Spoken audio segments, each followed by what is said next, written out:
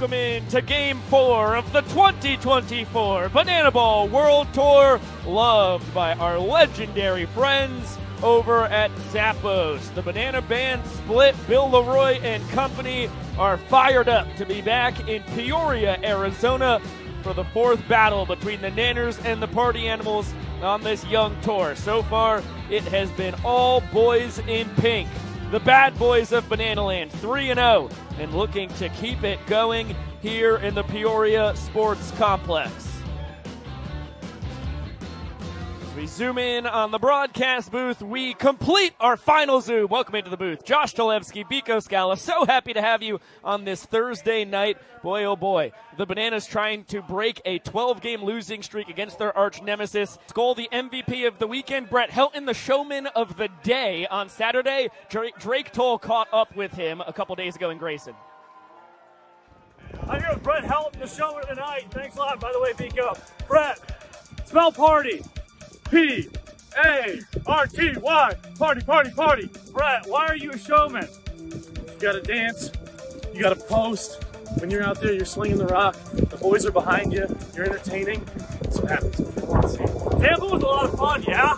Tampa's as good as it gets. One of those big cities, great stadiums, where the boys are buzzing, the fans are wild. Except for me. We're moving fast. Moving fast. Moving fast. Brett, how do you stay so fast out there? You just never gonna stop. The more you work, the more you go. It's just a hard. I'm gonna say DJ. Fiesta! No, no! Back to you, Biko. And how about that camera work? Well, not at the end there, but the vast majority of it, tremendous. Clayton Pimp, Clayton Franklin's the best in the game at that sort of thing, man. Shout out to him for helping Drake. I try to take credit for one thing, and all right, that's that's not why we're here. It's time to turn the page and look at some of the storylines heading into this evening. And a big part of that sweep, it was the Party Animals first five hitters Hampton, Cornett, Skole, Fisher, and Thomas. They were terrific. Look, they propelled the Party Animals to nine straight wins to take 2023, and they did not stop in Tampa Bay in the first three games. You see Dalton Cornett, DC3, leading all Banana Ball players with seven hits through the opening series, and Jake Skole, a series for the ages as well. Seven runs scored, three more than any other Banana Baller. Five hits, four runs batted in, also paced all players through the opening series. And Noah Fisher with a heck of an opening series, five hits. Tanner Thomas, three hits, two of which were doubles, and three runs batted in. Man, this Party Animals order was deep at the top. Yeah, these five bad boys combined to hit 377. They were 23 for 61. Another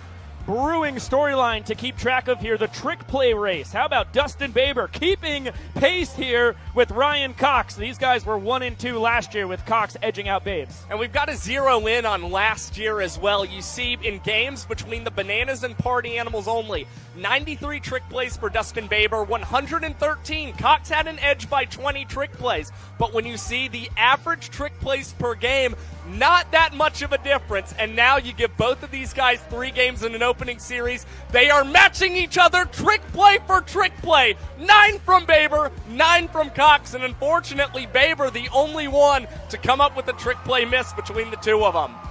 That's a fact. And now let's get a gander at our starting pitcher matchup tonight, as it will be Sean Fluke, the exterminator, Mr. Undeniable himself, against Cowboy Kyle Lewis. Really a clash of styles here. It is quite the pitching matchup, and of course, this is what we saw in Cooperstown, New York, to close out the tour with everything on the line. And Sean Fluke, as you can see, a 128 ERA plus, well above tour average. But for Kyle Lewis, just five percentage points below tour average. But Kyle led in innings pitched, led in strikeouts as well. Both of these guys regularly throw pretty quick innings. And for Kyle, he's trying to dominate with fastball slider. Meanwhile, for Sean Fluke, it's all off speed for him, especially with that big 12 6 curve. On three, I need everyone here to yell start the clock.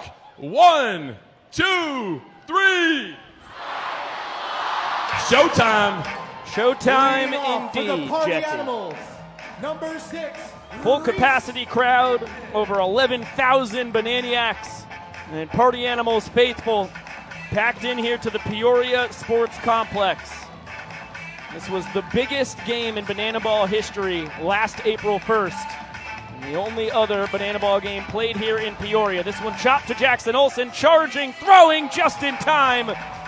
Excellent job by the Great Eight to get an out on the first pitch of the night. Yeah, that's a big first out from Jackson Olson. Wasn't necessarily set up in the right spot there in the shift there against Hampton, but a good crossbody play and throw there. Thought about possibly going for a trick play, but Olson knew it's much more imperative to get Kyle through the first and just get the first out in this ball game against last year's best hitter on tour.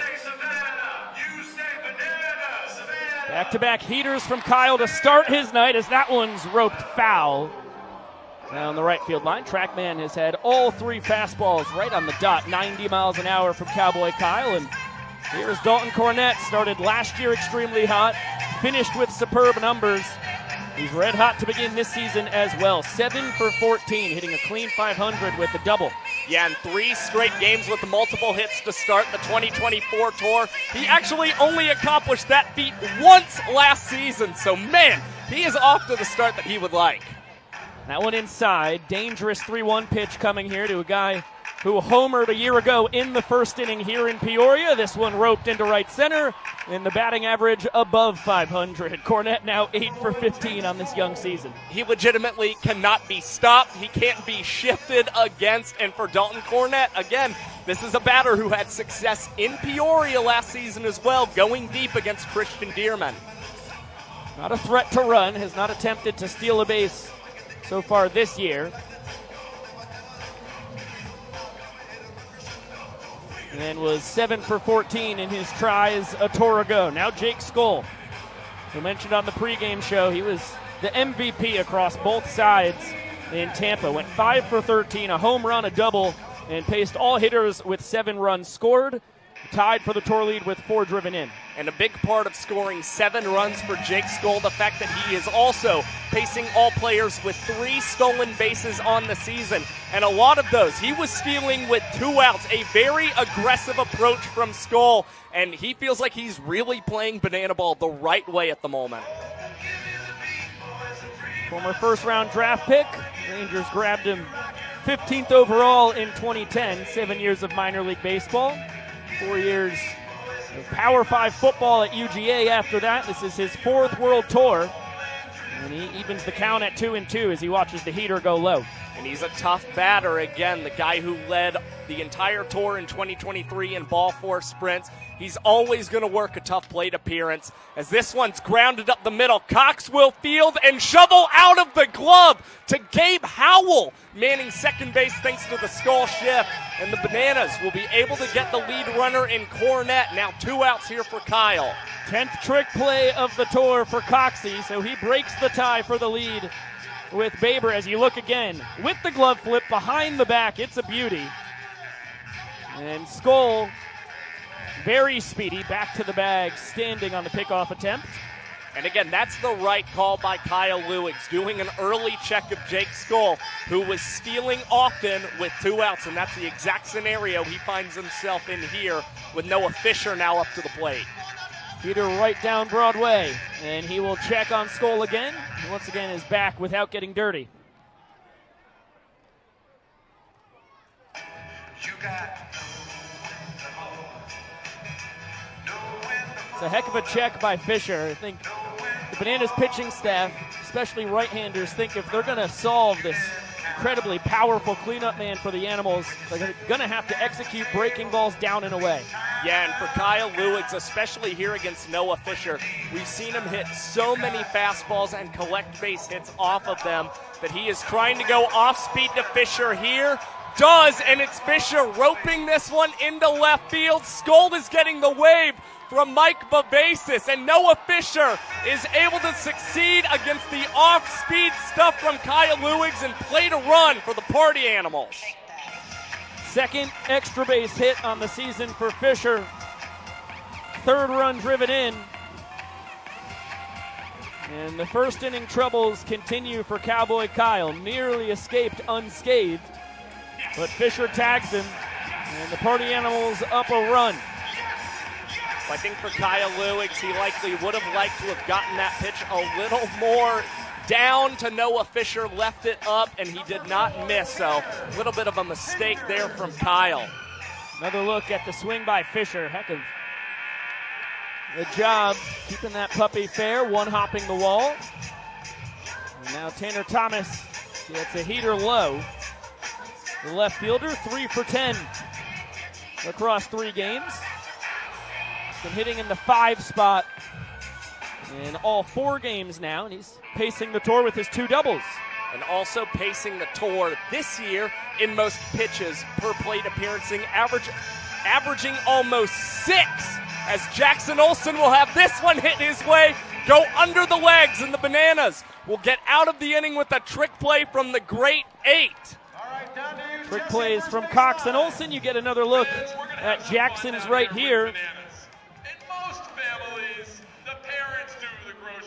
And after a couple looks at the under leg toss, sixth trick play of the tour for Jackson, let's get a look at the Party Animals defensive alignment. Left to right in the outfield, it is Thomas Hampton and Skole. Third to first gives you Fisher, Chase Acuff, Dustin Baber, and Jason Swan. Behind the dish is Dalton Cornett. And on the bump, it is Sean Fluke. Yeah, and Sean Fluke worked with Dalton Cornett in his first start of the season. They come back working again.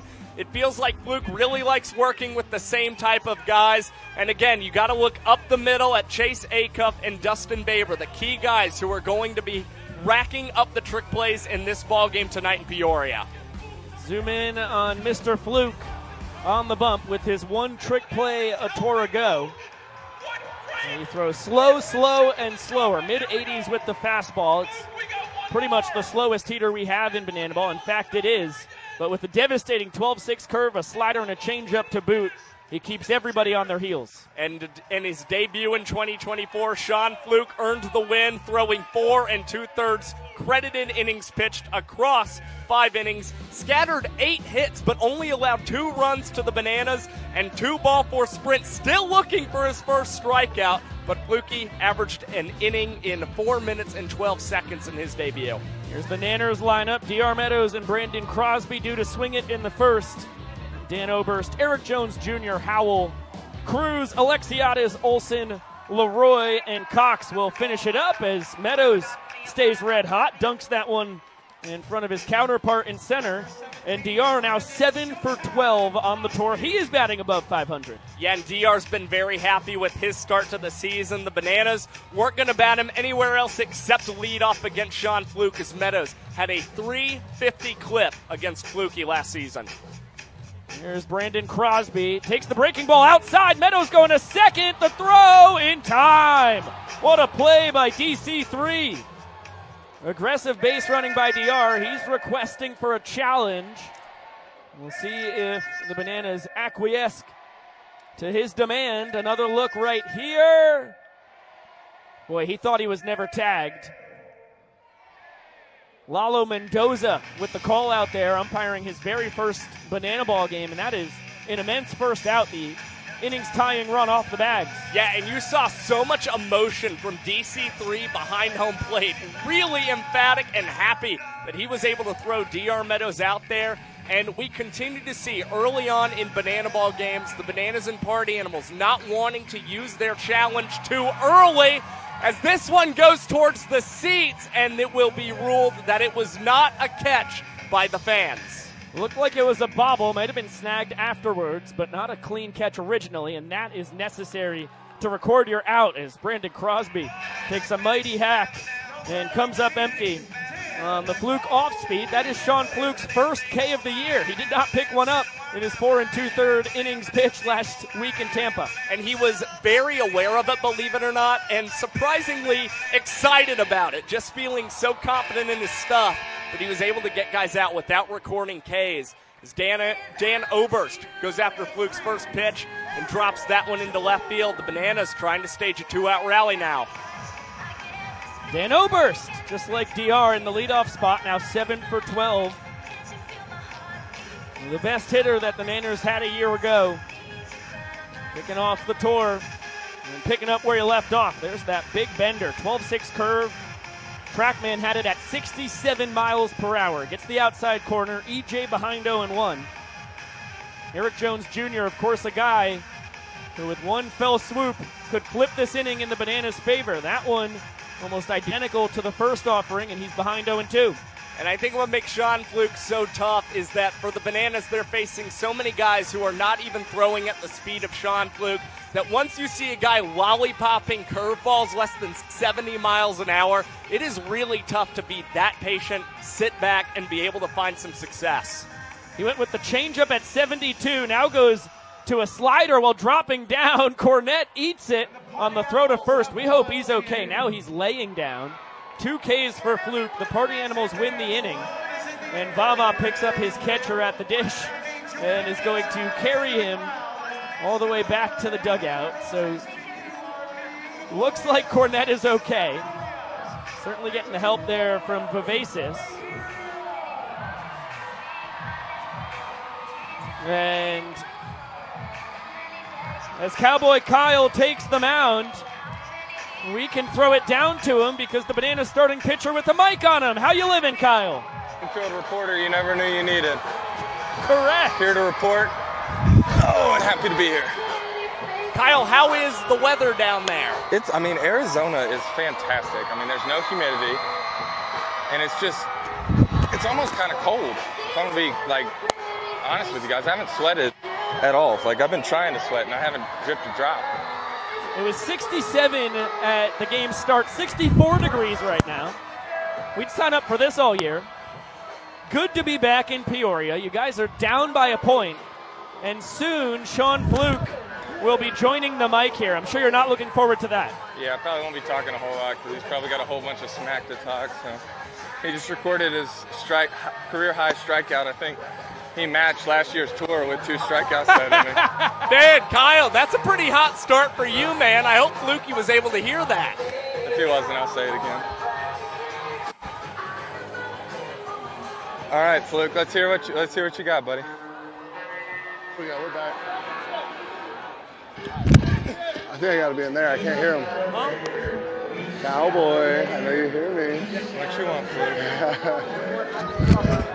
oh, that's a good pitch. Good spit by Delano. there. Why does everybody swing at your curveballs, but nobody swings at mine? You got to throw it lower than 55 miles an hour. oh, little. Oh, Garrett's got a bum ankle. Oh, dude, he's sparring. I don't know what he's doing. I wanted a quick pitch so bad. Picking on the injury, Kyle. I see you. Yeah, he's got a bum ankle. Uh, also, a hot start. You got to do whatever it takes, you know. Oh, Fluke, I need to throw as hard as you, and he would have swung through it. Hey, I, I know I, you probably don't know this stat, but I just want to let you know it's been like 170 days since the Bananas have won a game. It's been it feels like three or four Almost half a year. Almost half a year. Talking to Kyle right now? And we are talking to Kyle. Starting to concentrate. There. Uh, Hey, we sticking with the heater first pitch pattern or what for this next AB? Let me know. He's Let me a heater, you're scared. Swing the bat. Uh, that was a spike job. That thing went 45 feet. That was your specialty right there. oh man. Oh wow! What do you think of that? that? Is that a strike or what? Got me, Oh, all right. Hey, you're still one behind. Oh man, those hips haven't been do you think swung like that, that. Oh, You like my those God. hips? I gotta stop watching. Holy jeez. I have to stand on that mound after this. You know that, right? Do you throw uh, first base side or third base side? what was that? You throw first base side or third base side? Uh, first base. Yeah, we're just digging a crater over here. I'm a big boy, dude. I'm a big boy. Now Chase Acuff. Hey, I think you gotta. You're supposed to hit the catcher in the glove. All right, let's slow down. But I need to take a breather anyways. The Kyle. Perfect timing. The Kyle oh, you're gonna do it on the first pitch. Okay, there you go. Good. Yeah, I'm already behind one and oh, that's not a great start. A-cuff battles too. Oh, A-cuff, get down. Oh, doctor. Uh-huh. He wanted to trick play. I thought he was He going to. Acuff donut batter is pretty tough. Oh, yeah. He you strikes out like once a year. Unbelievable. It's Who got? confounding, really. Who we got? Mr. Quads coming to the Oh, plate? Mr. Quads. Let's see what he's got here. Oh, I'm so happy I don't have to be over there doing this. I look awful doing this things. Fluke, I bet you five bucks I strike him out. All right, I like it. You take me up on that? I like it. Air Uh-huh. shake? Air shake. There it is. What's first pitch here? dude? I want to be in your head. All right, that didn't work out very well. Uh, what's coming, dude? I want to know. That's a spot What do you got? What do you got here? Fastball. Good, good. Oh, shit. Oh, Oh, sorry. Tosh Porter, it's foul. Hey, It's it don't matter, baby. That's how I live right there. 101 miles per hour off the bat, according to TrackMan. I probably had two of those last night. Because I threw it 101. Hi, Chad. Yeah, fastball up. Look at that. Same page. Get it up there. Good, good. little velo grunt. Have you? When's the last time you velo Oh, dude, I throw it like 87% every time. Oh my goodness. Get down ball, or actually go ball. What am I saying? Yeah. Oh, Wow. Superman, little sketch. Oh, I got a pitch now. Oh. all right. Whoa, whoa, Anana, fly out to the track. How, how am I supposed to do this with all this stuff on? I feel like I feel like they, they give the bananas the good headset and the good mic, so like they get the AirPods and stuff, and I'm over here wired up like I'm from 1990. Like, oh yeah, good luck, Fluke. Go pitch with the freaking wires wrapped around your head. Like, dude, I look at my my pants are falling down. This is ridiculous. This is uh, back-to-back weekends that we've mic'd you up, to. Is, is this a far worse setup oh. than last week? What did we do to Oh, you? I mean, it's in and out. I can hear you better than last time, that's for sure. Terrific. Oh, we got to crow hop a couple. We got to get this thing back going. Hey, Kyle, by the way, that was a great inning by you, buddy. Oh. I don't know where he went. I don't know. He's probably a little upset they're losing. Oh. All right, I only have so many more. Let's go. Get this show on the road. Fluky, three straight rookies, Howell, Cruz, and Alexiadis. Oh God, what's that like? Indy Paul MVP, someone else. They're rookies, like you said. You know, that's how you look at it. Correct. Only a combined about 72 home runs in the Pioneer League last oh, year. that's something you definitely could have kept to yourself. Sorry, I went to the. What was that? Kyle, where are you in the locker room? No, he's right there on the end. There he is. Oh, I see him. Oh, I didn't get anything to drink that inning. I got cotton. Oh, Dehydrated fluky. oh God, I had a little drunk on that one. Maybe what? Three on the fox track? Oh, missed. Trackman had it at 79. Oh my God. Oh, oh God, no, it's gone. Uh-oh. Oh my God, it's gone. Oh, it's not gone. Yes, yes, it's not gone. Oh, oh my God, that was smoked. I think this might be like the record for most exit videos over 100 in the first two innings. You know, I think you just missed the barrel of his bat. That was 88 off the bat. Dude, I've been throwing literally meatball cutters in there, just praying uh, it takes five seconds to get to the glove. I think my favorite thing in that entire series was kind of everybody with their hands up in the air as soon as Oh, that's a- Tanner came down with that that. was catch. probably 65, change up right down the middle. 71. Yeah, oh, that's not bad. Dirty deuce. Ooh. Oh, that's bad. Oh, I thought he was going to call it a strike. That would have been generous. Fastball, a little subby here. Ooh. Yeah, you can't hit that. Come on, Rack. Dude, strike zone is at his head. I love it. what should we do, DC? Come on. Oh, yeah, let DC knows. I'm probably going to throw it down the middle, though. Oh, get it up, Fluke. That one was. Uh, oh, almost made a good catch. That's about all I got right there tonight, guys. I'm not gonna. I'm gonna be honest with you. You touched 82, Fluke. Feels good. Change up. All right, in the dirt. DC's being that guy. Ooh. Oh my God, that that thing moved a mile. Oh man. Kyle, feel free to run me out of water or something. Shake, shake. Change up in the dirt again. Oh, that's so bad. Oh, he just aggressive spits by Racker. aggressive. he was angry. I got some Reginate if you can get him out here. I Doesn't don't strike out. No, strike out. out. High of the Chad. mountain. Oh, DC, you better do something cool. You better do so. Oh, oh. Bobble. On the Doesn't count. bobble, on the bobble. It's all right. Hey, well, I got you guys. What, uh, what am I sitting at with fastball? You were consistently 89 to 91, Kyle. Okay. We I- like that. Yeah, I mean the Tampa mound was so much more downhill than this Oh, mound is. It's yeah. beautiful. Kind of feel like the I'm count, throwing back think to it's a Grayson. long 2 2. 2-2, Fluke. Yeah, we're going high Chad again. This guy with the high cheese. The we sidearm high out. cheese. Back to Tanner. Ready? What's he doing? Oh, he wanted, he wanted to trick play. Beep. Beep. Beep. Look, you're gonna get a strikeout here? You wanna, dou- you wanna oh, double down? guy? Yeah, I, I feel like I got this guy's number. You wanna you wanna dou- you wanna double down on our bet? All right, he'll double down. Okay, I didn't I'm get gonna Taj throw him- you five right now, so Um, subby slide. Uh, let's see. DC basically bow. I don't think you ever made it to the Pioneer League, Yeah. but this guy was the MVP. So. Oh, look at that, dude. Just, they never seen something this slow. Honestly, like the, look, he just capped that as a pull shot. No. What? what is this sidearm nonsense? it's only go to the right. I can't get it to the right. I might try Peter, here we go. Oh, oh, oh, a big gust of wind right there. Oh man. Not Oh, right okay, now. I'm a deuce. It's DC. Throw the dirt. Ah, damn. God, one of the strikeout. Hey, those are two, one, two, three innings. Good job, buddy. You better get on a horse, buddy. It's about to be 171 days since you guys won. Let's go. Cooperstown all over again. Sean Fluke, Kyle Lewis, thank you guys. Love you, buddy. Love you too. Have fun, boys. Sir. Oh yeah. Very good. We're fucking grooving Wow. right now. Six up, six down for the starting pitchers while they were chirping each other. Now Maceo and the fellas will dance us to the third frame.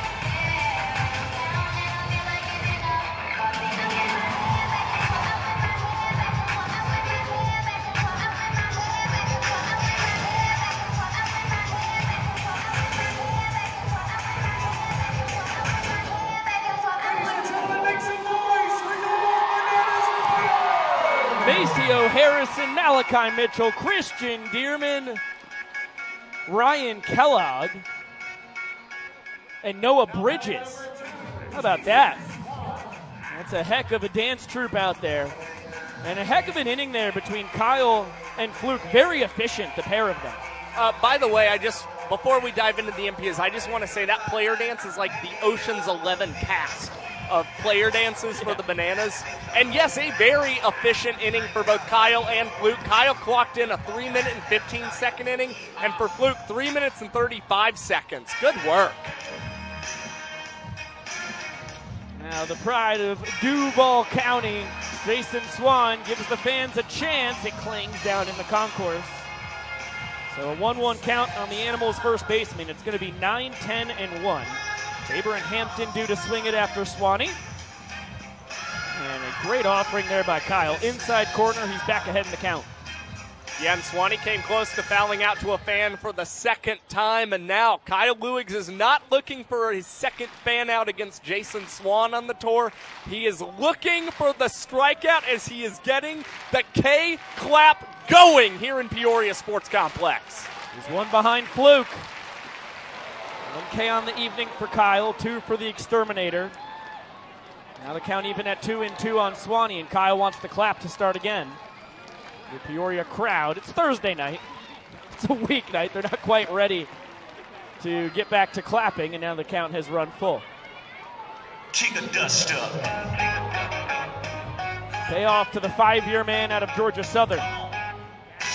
Back up the middle, and on a hop in front of Meadows. Swan's third hit in 12 trip, 12 trips to the dish so far on the tour. And for Swanee, they've been pretty consistent hits in terms of his spray chart. All three hits now going up to center field. So we'll see if the Bananas possibly try and place some shifts on him as this game progresses. This is where the party animals lineup is so tough. Here's Dustin Baber in the 10 hole. He's only one for 11 across the first three games of this season. Bill Leroy calls the strike. Vincent Chapman does not. Vincent, I'm guessing, will argue that that one was high. Trackman had it in the zone, but it does not adjust up and low. And now, try and get back into the count. Cowboy Kyle brings in Olson, Cox, and Meadows for a choreographed dance to one of Beyonce's newest tracks. Queen Bee going country. For the man out of Richmond Hill, Georgia. Born in Texas, a cowboy himself. And Luigs fires low. 2 0 on the man out of Babson Park, Florida. Feels like that song was recorded just for Cowboy Kyle to dance to a 3 2 2 of it. Feels right. That one's got the zone. There goes Swan. Throw from Leroy is into center field. Jason's going to turn around, go back to second. Meadows actually mishandled the ball, so if Swan went with his original decision, he would have had third base easily. For now, he'll be content with one stolen base. And you hope that Jason Swan is okay. Nobody's gone out to check on him, but it looked like he was hopping around and favoring one of his legs there at second base coming up, and that's the reason he didn't decide to advance. As now, ball four is issued, the sprint ensues, and here comes Swanee. He will jog into home plate to score, and Baber will hold it first, just a one base sprint. Baber's first sprint of the season, his second run driven in. And the Party Animals, after winning the first inning, now lead here in the second.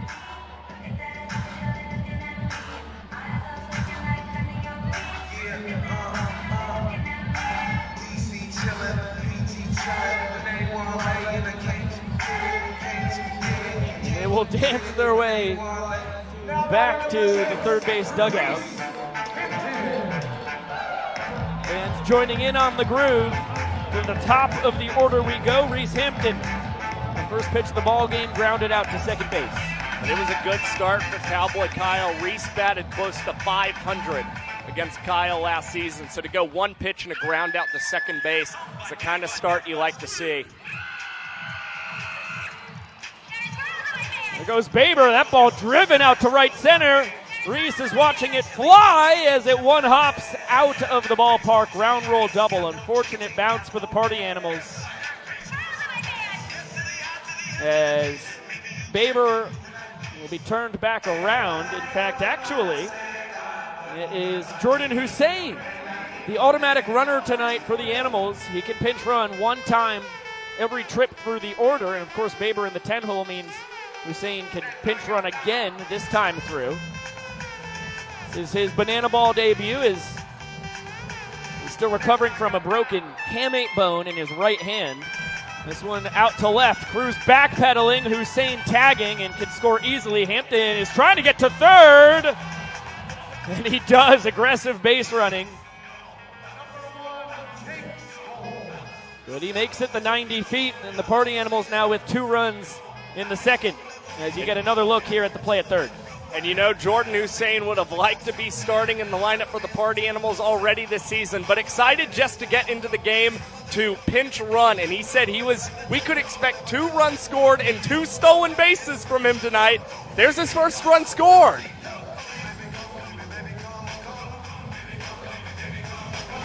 Now it's Jake Skole.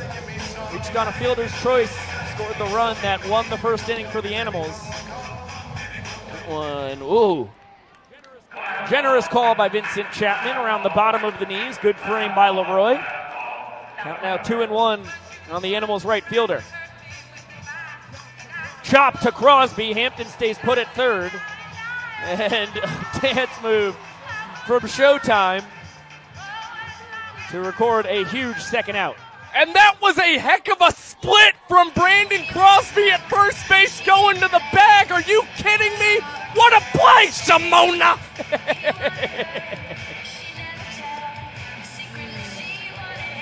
Uh, you like that? I like that a lot. Not a trick play, but a tricky one. And now a specialty walk up for Noah Fisher, his second of the year. Embodying the skater boy, tricks on top of the Animals dugout. Now he's on top of his board in the box and fouls this one off. It is not caught by a fan.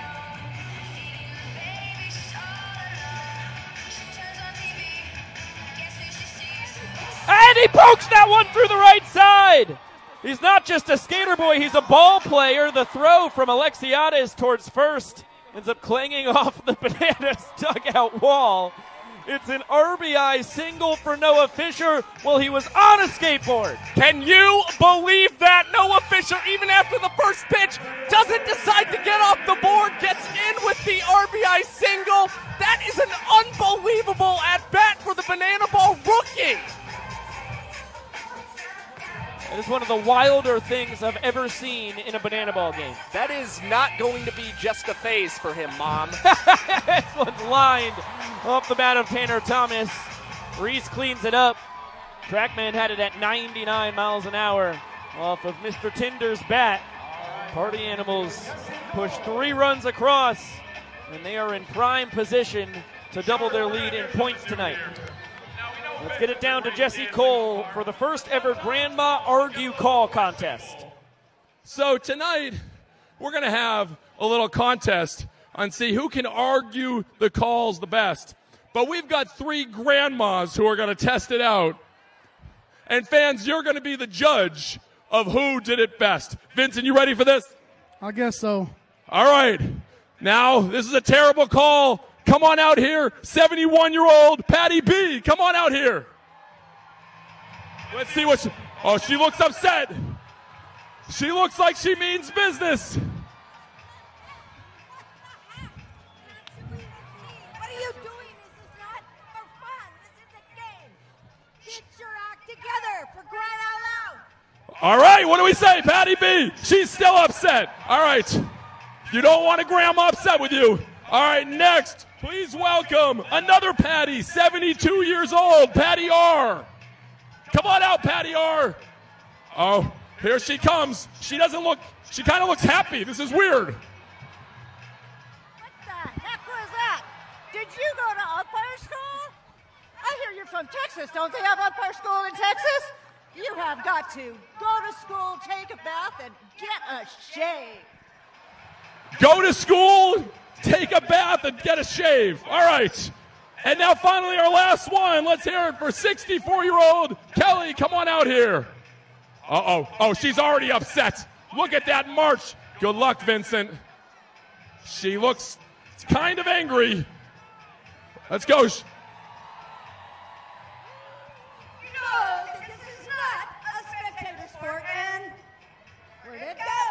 That dinner plate. All right, are we clear with that? You know, really, you, you know. Kelly? Stevie Wonder saw that last call.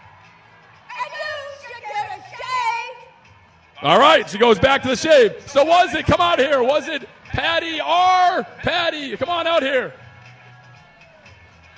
Was it Patty B? Was it Kelly? Or was it Patty R? All right, our winner and the grandma contest. Here we go.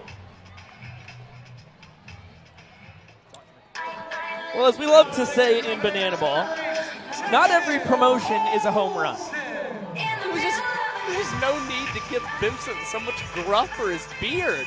Yeah, As a man with facial hair myself, it just it feels wrong.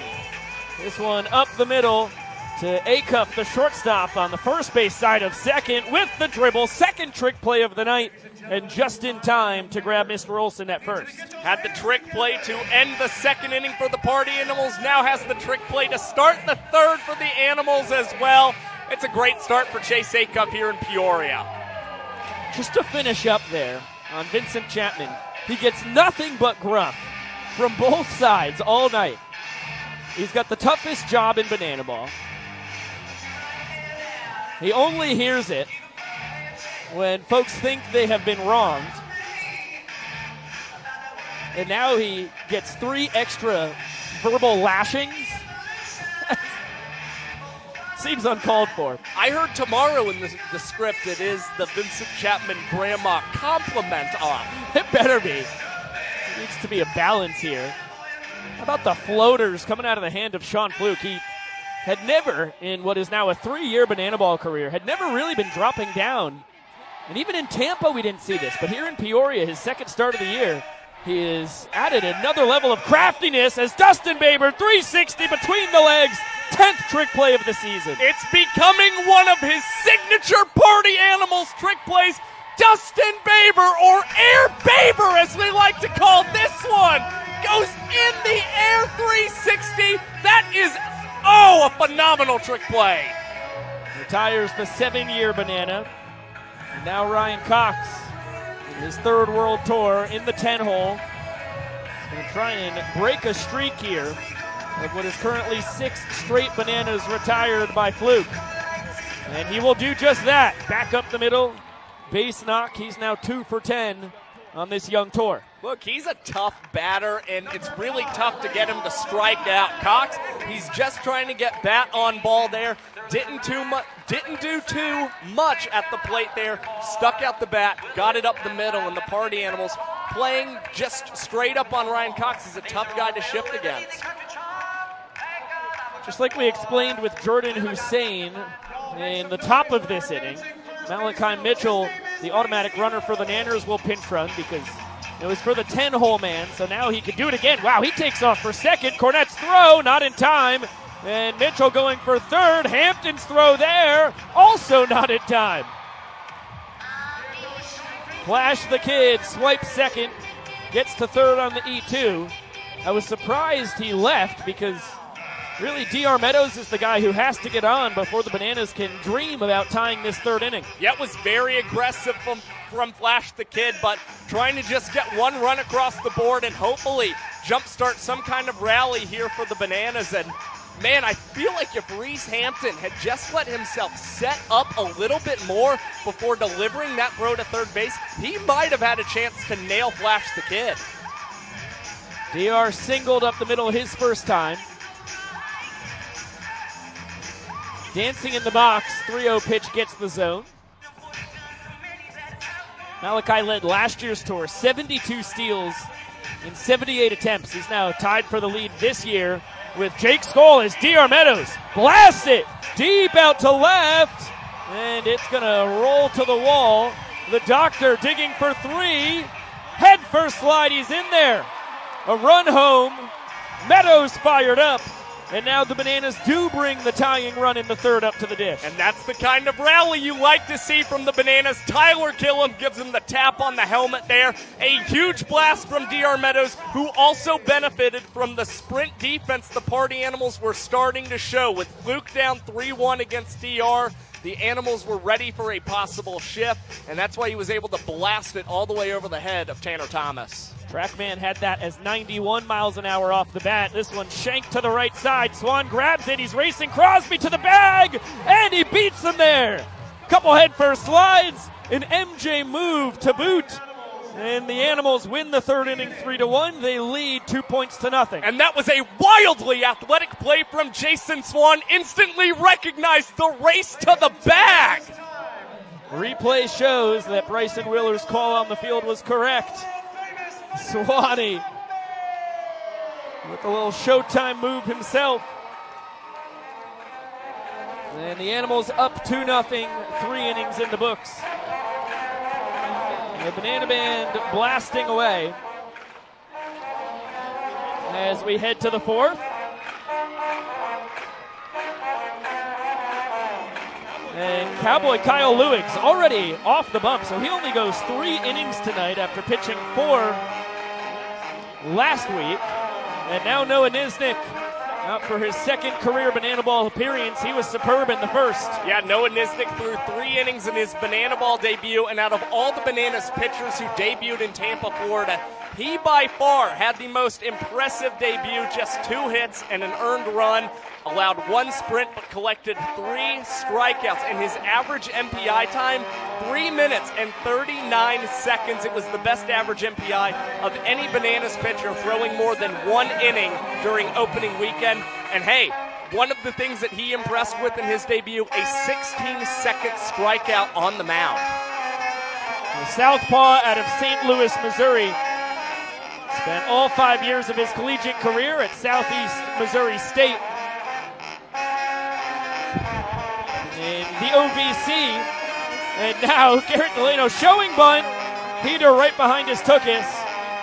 And just in time for the start of the inning, Brandon Crosby jogging out with the mic on him.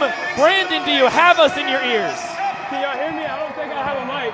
Oh, we've got you loud and clear. Oh, for real? Oh, Yeah! Uh, it was like a whole thing. We were trying to get the mic on, so cool. What's going on, y'all? That was an awful quick turnaround after a headfirst dive into first base. Yeah, I thought I almost got it, y'all. I thought I, I thought I almost got it. Well, you did, and Swanee just got you by a hair. Yeah, here we go. Oh! Trick play, fifth of the year for you, Showtime. Let's go, let's go. Showtime, that is perfect banana ball feel, and it sets up a question I've been dying to ask you, man. You had back to back starts at first base to end Tampa with two trick plays apiece. You've already got five on the tour, man. How good are you feeling defensively right now? I'm feeling good, man. I'm feeling loose, you know. It's fun, so it just like, it just happens, you know? Now Chase Acuff Let's go, baby. behind 0 1. Talk to us about playing first base, because you've played all over in your life, but primarily as of late, you were a second baseman. Yeah, this is a little different, but I played first base with Ogden for like a week, so I kind of got a little feel about it, you know. But um, the guys here, they really helped me out, show me the ropes, so it makes it a lot easier. Oh, oh, oh, oh, oh, come on, somebody catch that. That one skied Come towards on. the fans. They got it. Did they get it? Oh, no. No dice. Now, Brandon, what was going through your head when you get a shot hit to you at first base? You go to the bag, and instead of just tapping the foot on the bag, you go full split out there. yes, sir. Hey, we all know it's showtime, baby. And right now I'm Michael Jackson. So, you know, I had to hit the split. You know, I don't think Michael Jackson hit the split, but he did it today. 2 2 to Acuff is fouled at Come the on, dish. We'll do it again. Now, we talked about it for the K Club back in the final scrimmage, but for the rest of the world who now gets to hear you for the first time, talk us through the whole Michael Jackson persona and how it kind of came about naturally at the Daytona tryout. Yeah, yeah. So, um, so I grew up watching Michael Jackson, like the Jackson Five. Um, my parents. Let's go!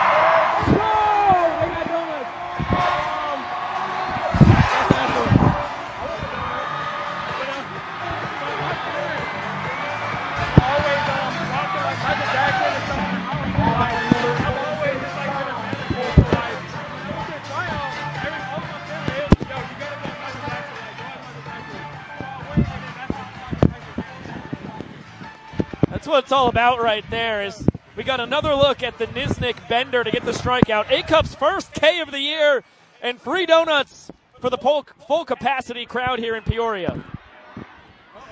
Have you picked up any dance moves from Vincent Chapman? Look at him,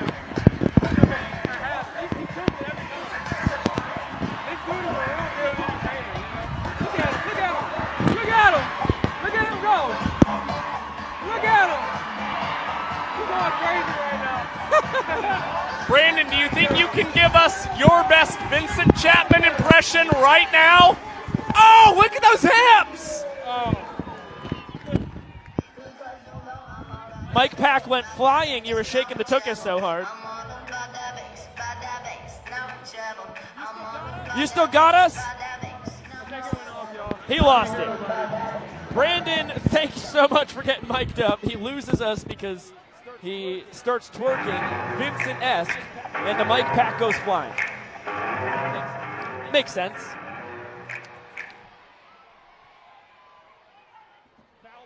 Foul ball, once again, not caught by the fans. Taj Porter, a switch hitter, turns around to hit righty here in his second trip to the dish tonight. He flew out deep to right.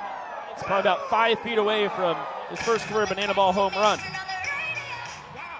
Wow! Called strike three there.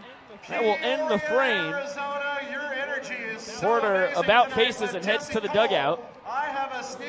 A little surprised by the call, just because it crossed Bill up. The trackman liked it. Good, good job there by Vincent to make the correct call, which is tough on those when the catcher sets up on one side of the zone and it ends up towards the other side. And again, we saw Niznik, the average MPI in that first appearance, 3 minutes and 39 seconds. This one completely on par with his opening performance here tonight. 3 minutes and 26 seconds in the fourth for Niznik. One, two, three frame. A trick play by our mic'd up man, Showtime Brandon Crosby. And then back to back strikeouts. One swinging, one looking. Really impressive to get the K on Acuff there when we had Kyle and Fluke mic'd up. Talked about how this guy is so tough to K. Was the hardest man to strike out in 2018 in all of Division II baseball, and had more sprints than K's a year ago on his first World Tour. Vico, I'm going to give us each a sheet of paper after this game, and we will we will write a written apology to Shark for our actions tonight, thinking that he was crazy. He was out of his mind. I thought it was absurd. But somehow, Shark knew. Shark knew that Shark knows all. Nasty Niz was going to break off an insane bender and evade a swing there from Acuff. You get to look at Deeb Cox. That's Ray Ortega with the cape down there. Fitting in perfectly in his first campaign in Banana Land. Stole him from the Southern Maryland Blue Crabs of the Atlantic League.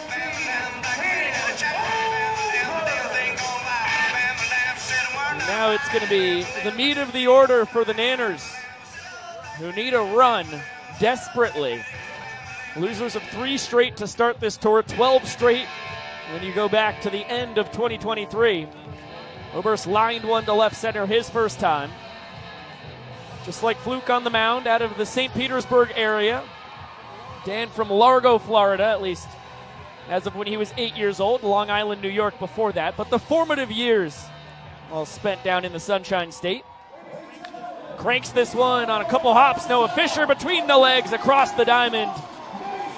And it is trick play number two for Fish. Yeah, and Fish was set up in a pretty perfect spot overall. Struggled in the trick play department a little bit during the scrimmages we saw in spring training, but here didn't try to do too much, just went between the legs. And what's really fascinating, it's the fifth matchup of the season between Sean Fluke and Dan Oberst, and that is the first time Sean Fluke has gotten Dan out.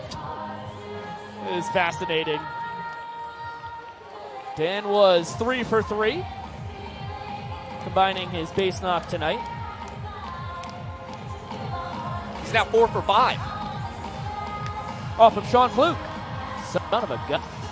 That ball blasted deep out to right. And Skole there to put it away. EJ retired. And Gabe Howell flew out deep to left his first time, flirted with his first banana ball home run. Got the numbers, had 17 long balls in the Pioneer League last summer. And now Fluke throwing away the glove. He's feeling it. Well, Howell homered in back to back scrimmages for the Bananas before this season got underway. And for him, already nine fly ball outs on the season. It just feels like he's getting under the ball just a touch. He is really close to running into one and hopefully taking off offensively from there for the Bananas. Dangerous pitch coming here from Fluke behind three balls, no strikes. And Howell, green light, got a center cut heater, swung through it. Well, look, you've got no one on base, two outs, and you see a pitch like that coming right in the middle of the zone. Why wouldn't you swing? And now the next pitch from Sean Fluke, ball four, and you've got Howell off the races, thinks about trying to go for two bases, but he'll pump the brakes and stay at first. And the Bananas will try and see if Robert Anthony Cruz Rack can come up with a big walk off his, which would be his second of the tour. Gabe's first sprint of the season. Guy who was 30 for 41 in his stolen base attempts for the Glacier Range Riders last year. And Robert Anthony Cruz behind 0 1. He also flew out to left his first time. That one stroked over the leap of Baber into right. Howell's going to slam the brakes, throw behind him the tag in time. Laser beam from Skole. He gets an aggressive Gabe Howell, and that will end the frame. And this might be where we see a challenge for the Bananas or the fans. We will see the fans trying to urge whoever's got the confetti to pop it, but we will go to the replay. Okay, so we get the challenge. Did it come from the fans? I think it had to have. I do not see any of the challenges that were deployed from the party animals or the bananas on the field. Okay, so we get on the Riedel headsets. Vincent Chapman, Zach Frangelo ready to hear it. We look, the first play didn't prove anything. We're going to need to see a center field angle. We'll need that center field shot. I don't know if this is going to give it to us. That tells us nothing as Yeah, well. can't tell. Center field didn't have it, so after, okay, one more look here, once again. I think the ruling is inconclusive, guys. Yep. Call will stand. Correct. Not enough evidence. Thank you. Bang, bang.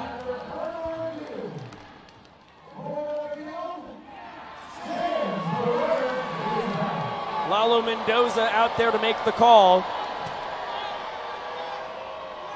He is perfect in his young banana ball umpiring career now, one for one, defending his honor. And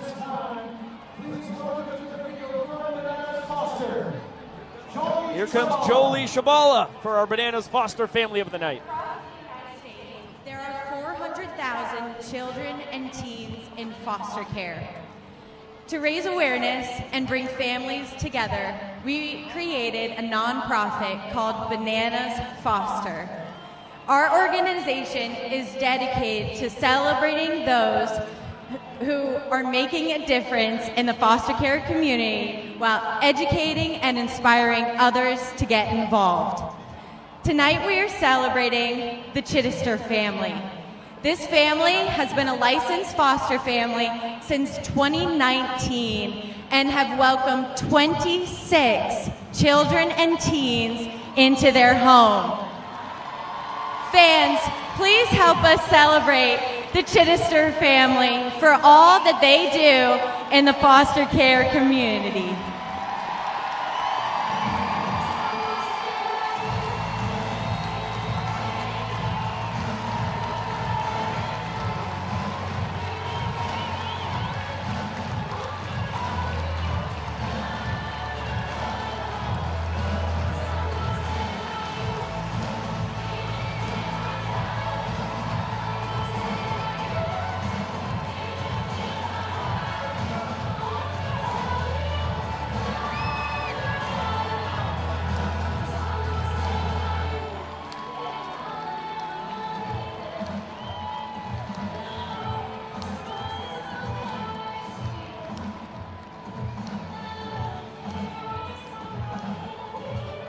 Always one of the most special moments in Banana Land when you get the big Bananas Foster Ladies family and gentlemen, one more time hug. for our Bananas Foster family of the night. Tonight, the Chichester family,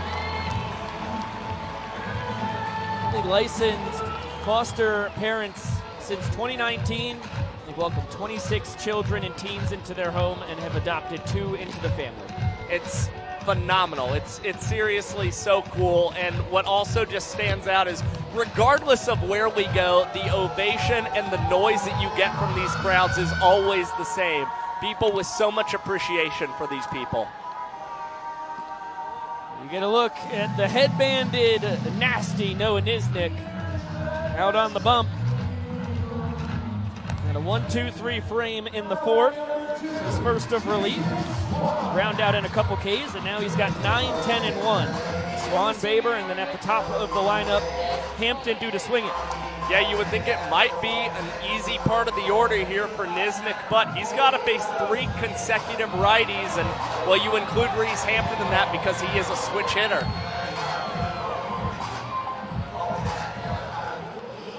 Swan with a single up the middle. Stole the base, came around to score in the three run top of the third. It was all kicked off by the Animals first baseman. On a smidge down. 2 0 now from Niz. They get 3 0.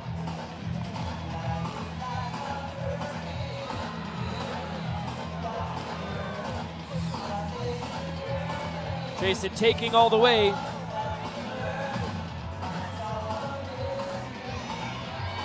Still in the hitter's count.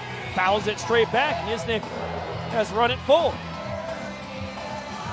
And look, Niznik had a pretty impressive strikeout to walk ratio throughout his college career. He's shown it early on. And how about this? We'll battle back all the way from down 3 0 against Jason Swan and get the strikeout looking. Three straight Ks for Niz Nasty.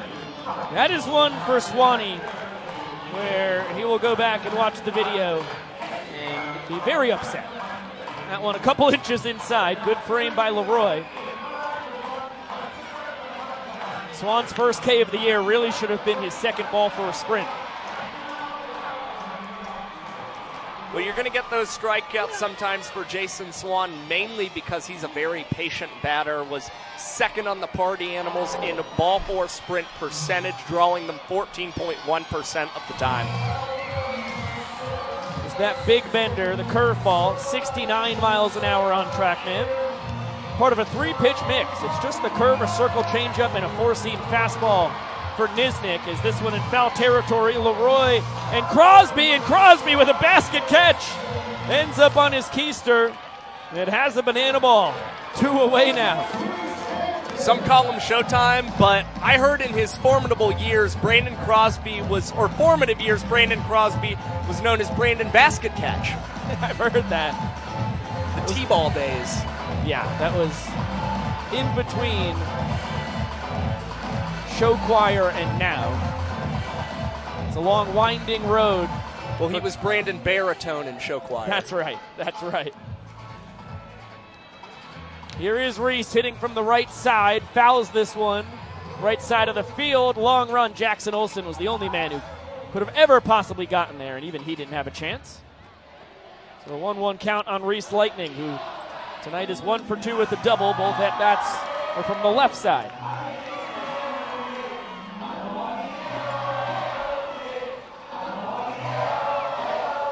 Two one coming to the former Tigers and Diamondbacks minor leaguer. Make it three and one. And of course, we shouldn't forget about Reese's performance in Peoria last season for the Party Animals. Had a home run, collected a sprint, and two runs batted in with a trick play as well. He was the showman of the night here last year. Another payoff pitch. Bounced up the middle. Sliding stop. Olson to his feet just in time to get Hampton. The grade eight with a great play, and it's six up, six down for Nasty Niz.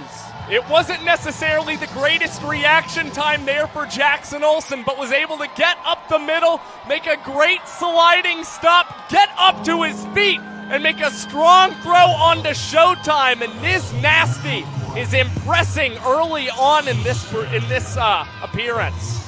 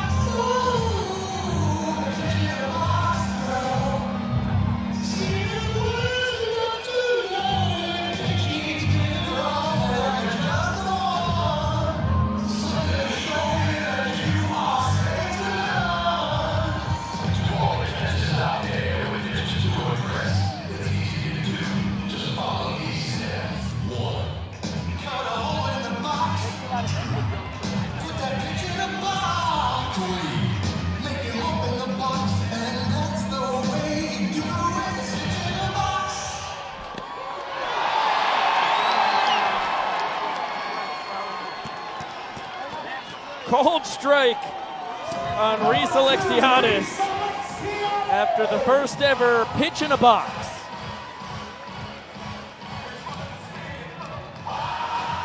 I heard when we're back in Mesa, they will be reprising the performance with "I'm on a mound." yeah, it's good. Be a nice little Weird Al version of a Lonely Island banger. This one a mile high. Reese Alexiades. Wow, how about the job there by Chase Acuff? I don't know if Hampton ever found it, but his shortstop did. Ran about a country mile. It comes up with the catch just in front of his center fielder. And that might have been why Chase Acuff wound up with that ball in the glove right there. You did kind of see Reese Hampton with outstretched arms. Gives you the impression that he did not see the ball. Lost it in the sky here is Jackson Olson is channeling his inner Taylor Swift, Michael Deeb, playing the role of Travis Kelce here.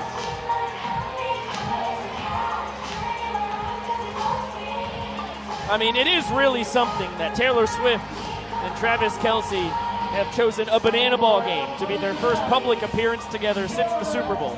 It's unbelievable. Karma is the welcome you see at a banana ball game. And Olson ahead 1 0. Taylor. Sorry. Taylor ahead 0 1. Pops it foul. Boy, this would be an unfortunate end. No, it's a ricochet off the roof, so ineligible to be caught by a fan after the deflection. And that bat here for Swifties around the world. Devastating changeup. And this one tapped past Luke. Acuff attacking barehead behind the back. It's an errant throw. So it'll be a trick play missed for Chase. Now Swan applies the tag. Jackson out. Bryson Wheeler saying he made an attempt at second base.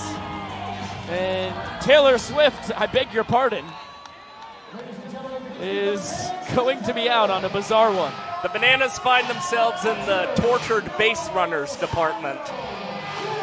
On fire tonight. Zing! The teardrops on Jackson's guitar after that base running blunder.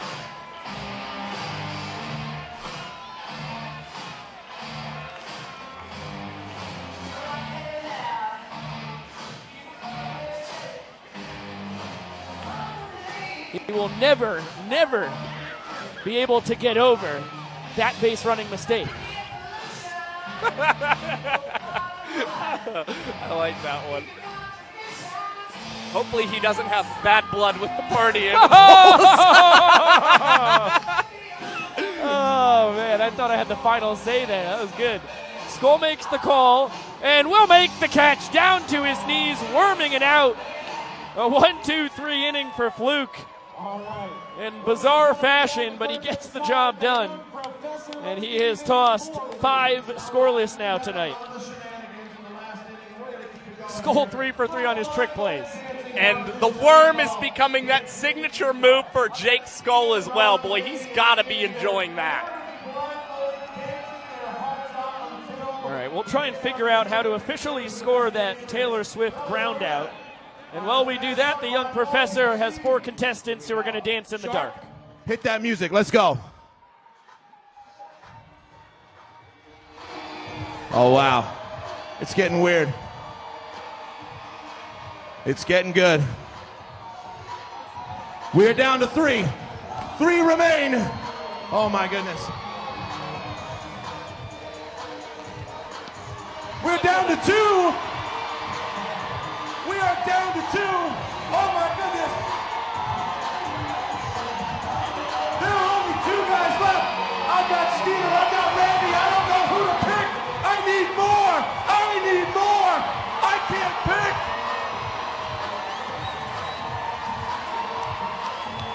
Wait a minute, wait a minute. Steven, take off the blindfold, take off the blindfold. It's been just you out here for a little bit, buddy. Ladies and gentlemen, give it up for your winner of Dance in the Dark, it's Steven!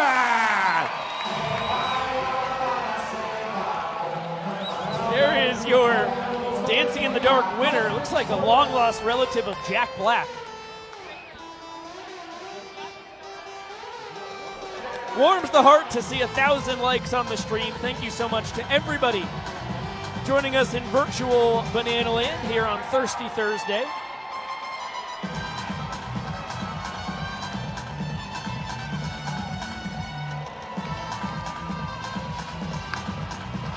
This one chopped foul. Noah Niznik out for his third inning of relief. A tough spot in the order. Two, three, four. Cornett, Skole, and Fisher. There's that big looping curveball. Trackman had that one at 67 miles an hour. Gives it again. This one off the end of the bat. Coming in. Reese Alexiades. Diving attempt. No diving catch. Bryson Wheeler saying that it hit the ground. Alexiades apoplectic that that is the call. And, there's- now we have a fan Okay. challenge. So some team used the challenge in our previous play. The fans pop the confetti, and we will pop on the headsets and take a look at this one. Zach Frangelo scrambling to get a headset on himself and Vincent Chapman. And we'll take another look. The Bananas are out of their challenge. They lost theirs on the Gabe Howell attempt. And here we go. That's an out. That's a clean catch. That's That's a catch. That's the a catch. call was overturned. Overturned. That's a catch. You can see it. Pure perplexion on the face of Alexiades. And Bryson Wheeler finally has a call overturned. He had a sterling reputation up until now. He's proved he's human. He can no longer be Bryson the Machine Wheeler anymore. He actually had me promise before the game that I would not overturn any of his calls, and I, I looked at him and said, "Me no make no promises." Good English and a good decision by you. That would put us in quite a pickle there on one we clearly had to overturn. There's a gnarly bender, grazes the outside corner.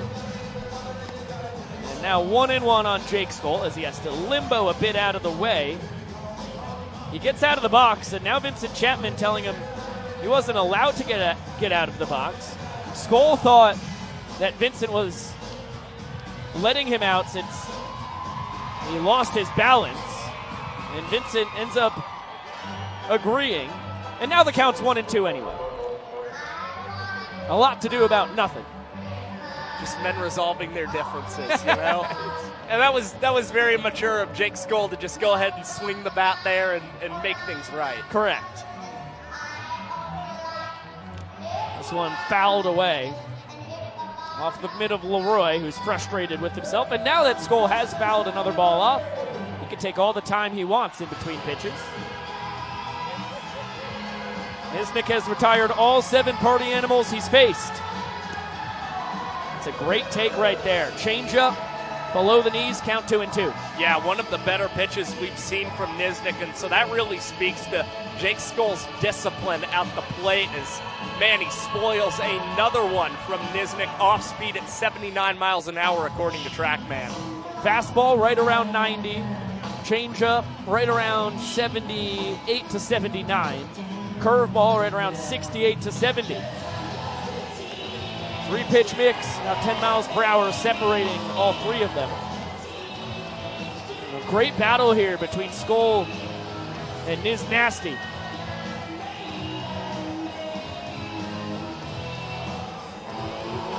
Niznik, a former O'Fallon Hoots collegiate summer ball, one of the favorite teams of legendary Bananas fan Kevin Riley. Another man out of the St. Louis area. The battle continues. Now the count runs full. Yeah, nine pitches so far between Noah Niznik and Jake Skole, so this will be the first plate appearance to reach double digits. And how about that? Niznik pulls the string, Skole frustrated at himself, and it is another punch out for Noah Niznik, his fourth tonight. Retired all eight party animals, went with the 3 2 circle changeup in on the hands. You get another look behind the plate. Late break on it. Skole furious with himself that he came up empty. And just with everything that you're seeing from Noah Niznik, it makes complete sense why Tyler Gillum and Adam Byron in spring training were talking about how excited they were to add this arm to the bullpen. I mean, again, they only had one lefty to enter 2023 with 76 year old Bill Lee. And now they get to turn to guys like Noah Niznik and Zach Phillips.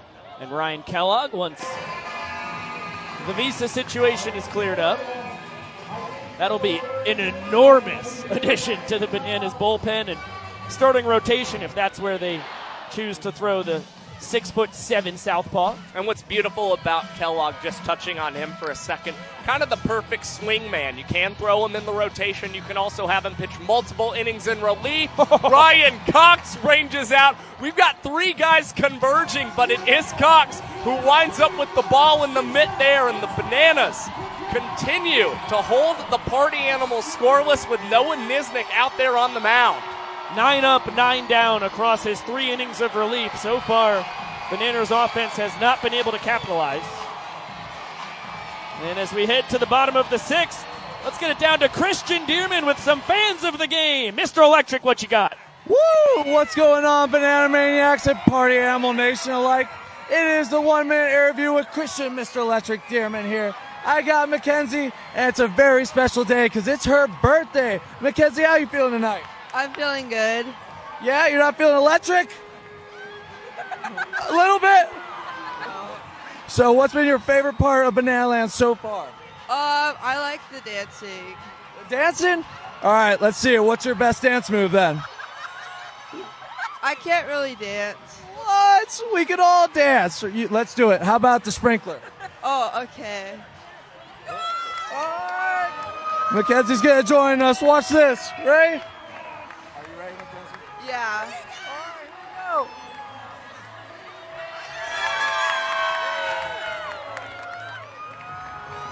Wow. Now, those are some great moves, Mackenzie. Happy birthday from me and Banana Nation alike. Hope you keep going bananas. And let's get a win tonight, people. Woo! Thank you, Mackenzie. Thank you, Mr. Electric. Nice indeed, Christian Dearman. Great to have the man in his sixth campaign as a nanner, third as a pro, three collegiately before that, joining us on the broadcast side of things. How about that piece of hitting? Ryan Cox, two for two. You wee Willie Keelered him. Hit him where they ain't. and it looked by the swing there from Ryan Cox that that was exactly what he was planning on doing. Just waited back, and it was this kind of drag bunt esque swing, was still going all the way around there, able to really beat the shift there from the party animals against him. And I'm I'm honestly just baffled that they were shifting him in the first place. Yeah, Coxie can pretty much put the ball wherever he wants. Not just a magician with the glove, but the bat as well. As Dearman sprints through your screen here. Back to join his guys. Malachi Mitchell pinch running for Cox for the second time tonight. DR also two for two. Single and a triple, and he's ahead 3 and 0. Sean Fluke looking to stay scoreless in his sixth inning on the mound. And you may see Malachi take off with the count 3 and 0. And how about this? Vincent Chapman will call that one. It looks like a touch outside and flashes off to the races, but third base coach Ray Ortega will hold Malachi at third. DR opts to stay at just first base. And it's the Bananas electing to go to a pinch hitter. It's Brandon Crosby coming out of the ball game and Michael Vitamin Deeb stepping up to the plate.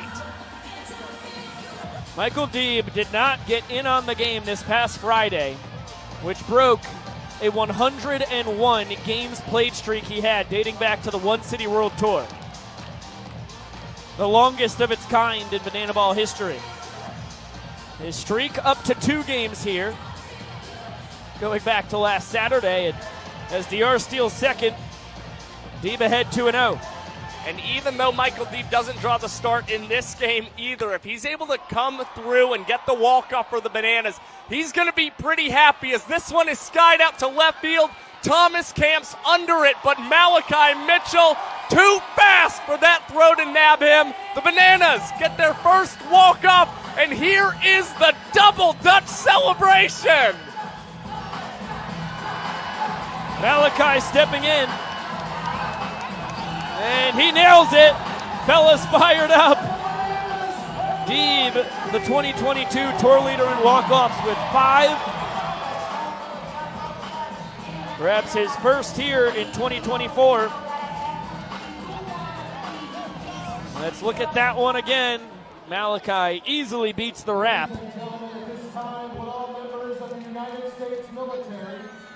And the chaos ensues. Jump rope o'clock.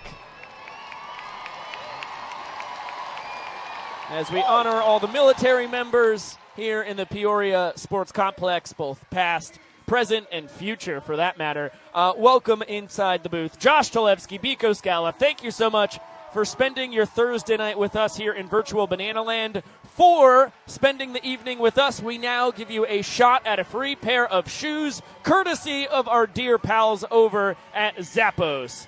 Josh, drum roll, please. Rooney. The buzzword is pleasant. Pleasant. Delightful. Yeah, it's a nice way to kick off I our weekend. We had a pleasant Valentine's Day yesterday. And uh, I believe pleasant uh, after Mount Pleasant as well. Okay, terrific. I'm guessing that's somewhere near us here, Mount Pleasant. You know, I'm no geographical expert, so you know we'll see if it winds up in possibly a PowerPoint of sorts. you know. I don't- Terrific. I don't, like to tip my hand too much. Yeah, okay, sounds good. That's intriguing. Uh, so, to enter the giveaway, hit the link in the description in the video or in the comment section and fill out all of your contact information where it says buzzword, enter pleasant. You'll have a chance to do that throughout this top and then the bottom of the seventh inning, in which Noah Niznik is now out for his fourth inning of relief. He's got five, six, and seven here. Thomas Delano and Acuff due to swing it. As that big bender just misses. Niz has retired all nine party animals he's faced, which started with Delano in the top of the fourth. Tanner, the only man in the lineup that has not faced Noah so far tonight.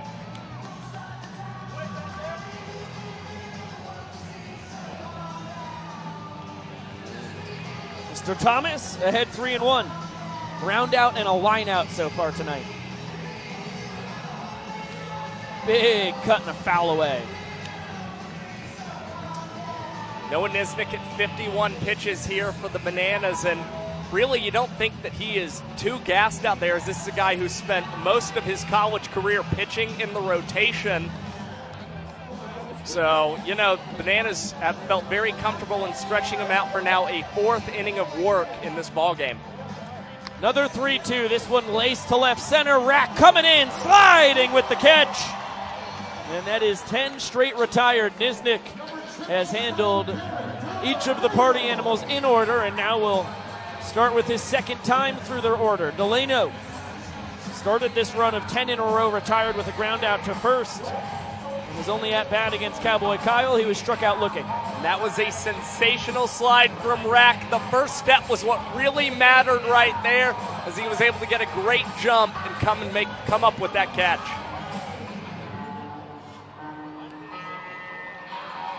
Josh mentioned Niznik, primarily a starter in his collegiate career when he was a Red Hawk. This one chopped to third. Howell drops it, loses the ball, and it's going to be an E5.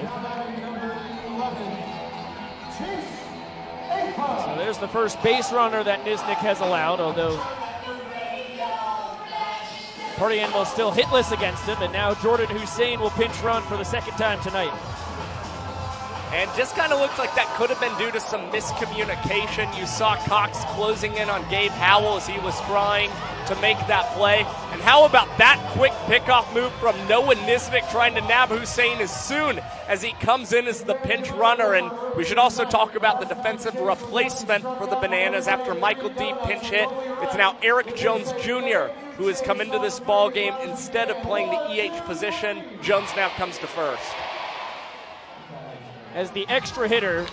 He can be inserted into the field without penalty. That one blasted deep out to left center. DR runs it down. And Hussein will have to retreat back to first. Meadows showing his incredible speed. He covers a whole lot of ground out there in center field.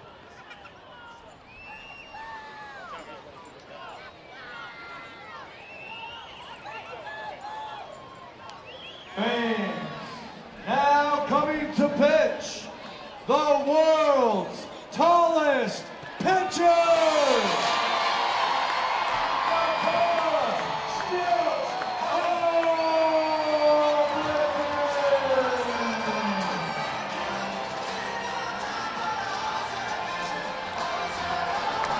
Well, how about the night for Noah Niznik?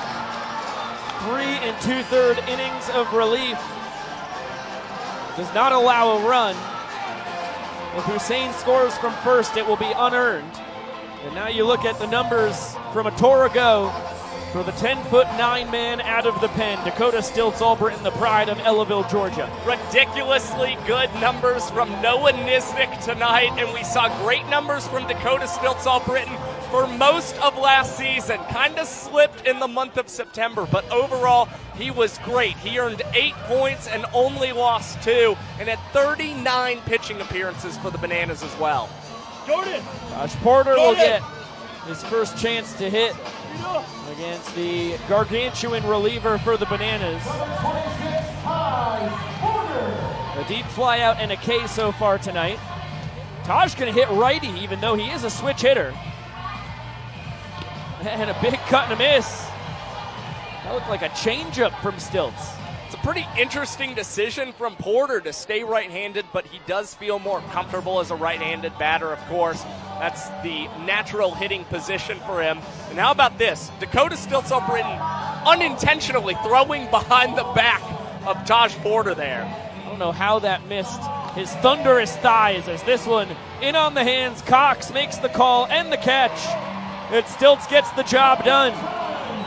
Four straight scoreless innings of relief. The lion's share done by Niznik. Albritton puts the cherry on top. And the Nanners just need one run in the bottom of the seventh to tie this game. Let's get it down to Jesse Cole as we are thrilled to be joined by our fearless leader here. Jesse, there have been 15 new additions between the Party Animals and the Bananas so far on this tour. And tonight, you saw an immaculate performance by Noah Niznik. It's unbelievable. You think about both Noahs. You got Noah Fisher on a skateboard driving a ball into the outfield. Then you got Noah Niznik, and boy, he works fast. He's doing tricks. He's everything you look for in a banana ball pitcher. And that's what's happening. You're having players from all over the country that want to be a part of this, and we're just so grateful that they're joining us and adding to the level of banana ball. Jesse, speaking of the level of banana ball last season, 12 trick plays through the first three games of the tour. This year, both teams combined for 43. What has made the difference in the uptick in trick plays from last year to now? Well, it's pretty impressive. You know, that was the focus all spring training, and every day they're working on what they call the daily vitamins, their fundamentals, their dribbling behind the back. We believe that's how you take this game to the next level. And uh, boy, they're putting it, uh, they're showing some things people have never seen before. We're about to go to double digits again. You know, it's really, really impressive. Jesse, 12 straight wins for the Party Animals dating back to last year, but the Nanners just down a point. How's this one ending? I'll tell you right now, this one is coming down to the last inning. Golden batter. It's going to be unbelievable. Mark my word on it, Biko. I can't argue with that. Jesse Cole, thank you so much. Love you, Biko. And Well- you, Josh. All right. Jesse. Thank you very much, Mr. Cole. Fouled back towards the Oh! broadcast booth. Oh! Couple, couple windows over, or else we could have had a chance at It's back to back games that have come so close. so close yet so far away. Drew Gillespie, the new man on the mound. He comes in for the heart of this Nanners order. Three, four, and five as he gets Dan chasing above the zone. Oberst one for two tonight. Fouls this one right side. Swan going towards the line will have room and makes the catch. Oh, what a juggling act! Comes away with it in his bare hand. That's a heck of an adjustment from the Jacksonville kid. Dan was unable to get a hit against Drew Gillespie in his 2024 debut, and here Gillespie continues to just confound Dan Oberst at the plate. Dan is now 1 for 15 lifetime against Gillespie. And how about this, EJ? First pitch swinging comebacker to Drew Gillespie, and that's an under the legs trick play for the righty. Two quick outs for Drew out of the pen. As you get a quick look at the Jacob Spades, and there it is. Right out of Jackson Olson's playbook, a bare hand by Swan on the other end. And Gabe Howell now ahead 1 0. Gillespie will bring Acuff, Baber, and Hampton in. In fact, his outfielders in the corners, Thomas and Skole, going to join in on this one too.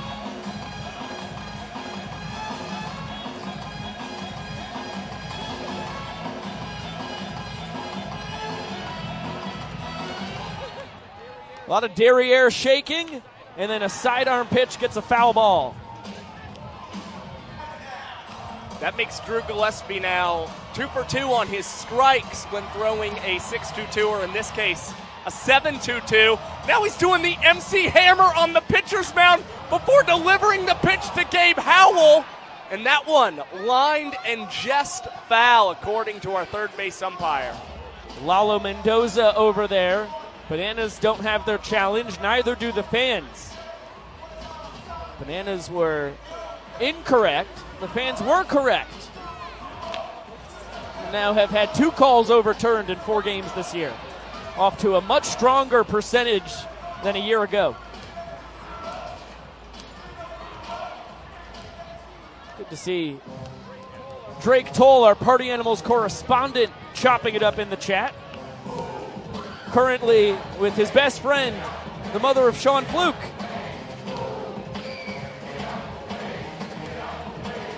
One, two. Back up the middle. Gabe Howell's got a base knock. One for two on the night. A sprint his last time, so he's aboard for a second time. Patiently fouled off some pitches against Drew Gillespie, and there the sixth pitch of that at bat. Left across the plate. Howell did not miss it, driving it up the middle. And again, Rack has a chance for a walk-off to tie this ball game at two points apiece for the Bananas. Inning winning run aboard. Howell runs very well.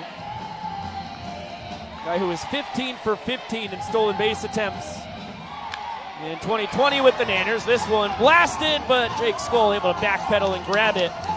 Well struck by Cruz. Trackman had it at 102 miles per hour off the bat of the former Washington Nationals minor leaguer. But it will be grabbed. That marks the end of the seventh, the end of our Zappos shoe giveaway. And we'll get it down to Jesse Cole to clean the dish. Home plate. Well, our two contestants come out here. We've got Derek and Erica. You guys have been married seven years. So my question to you, at home, who cleans the dishes? This guy. This guy? This girl, okay. So now we're going to do it a little differently here. We're going to do a clean the dish contest, but this is the dish. We're going to see who cleans it best, banana style. Derek, you may not clean them at home, but let's see what you got. Here we go. Fans, you'll be the judge. Let's get some music, Shark. Oh, Derek, you better get into it more than that, Derek. I can tell you don't clean the dishes at home at all. All right. This would not get anything accomplished at home at all. There would be zero dishes cleaned at home. All right, Derek, that's enough. That's enough. All right. Can't unwatch that. Now, Erica, your turn. Here we go. Shark music. What is this? This is uh, this. All right, this. Yep. Again. All right, no. All right. Again, zero dishes get cleaned at this house. Fans, was the winner? Was it Derek? Let's hear it for Derek. Or was it Erica? All right, our winner of Clean the Dish is Erica. Oh, jeez. Now that home plate is officially clean, head to the eighth inning. Less than a half hour left on our two hour timer. And for the third time tonight, Jason Swan will lead off an inning. Led off the third with a single, and off the fifth with a strikeout looking. And he's got a 1 1 count on him as Zach Phillips takes over for Stilts on the mound.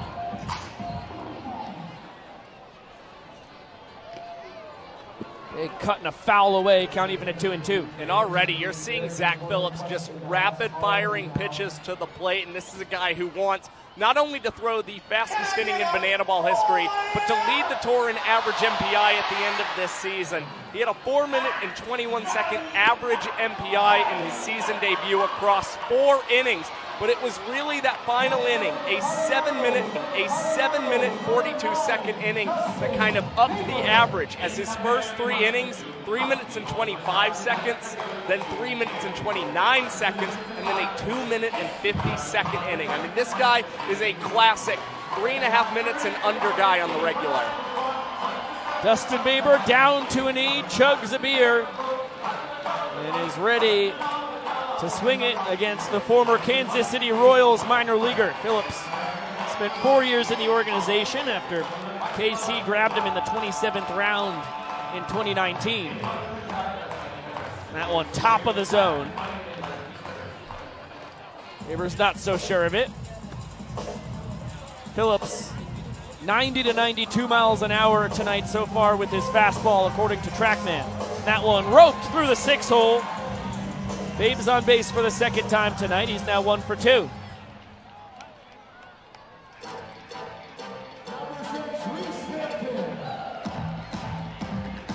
And with Dustin Baber reaching, Jordan Hussein is going to come in as the designated runner and pinch run for Baber for the second time tonight.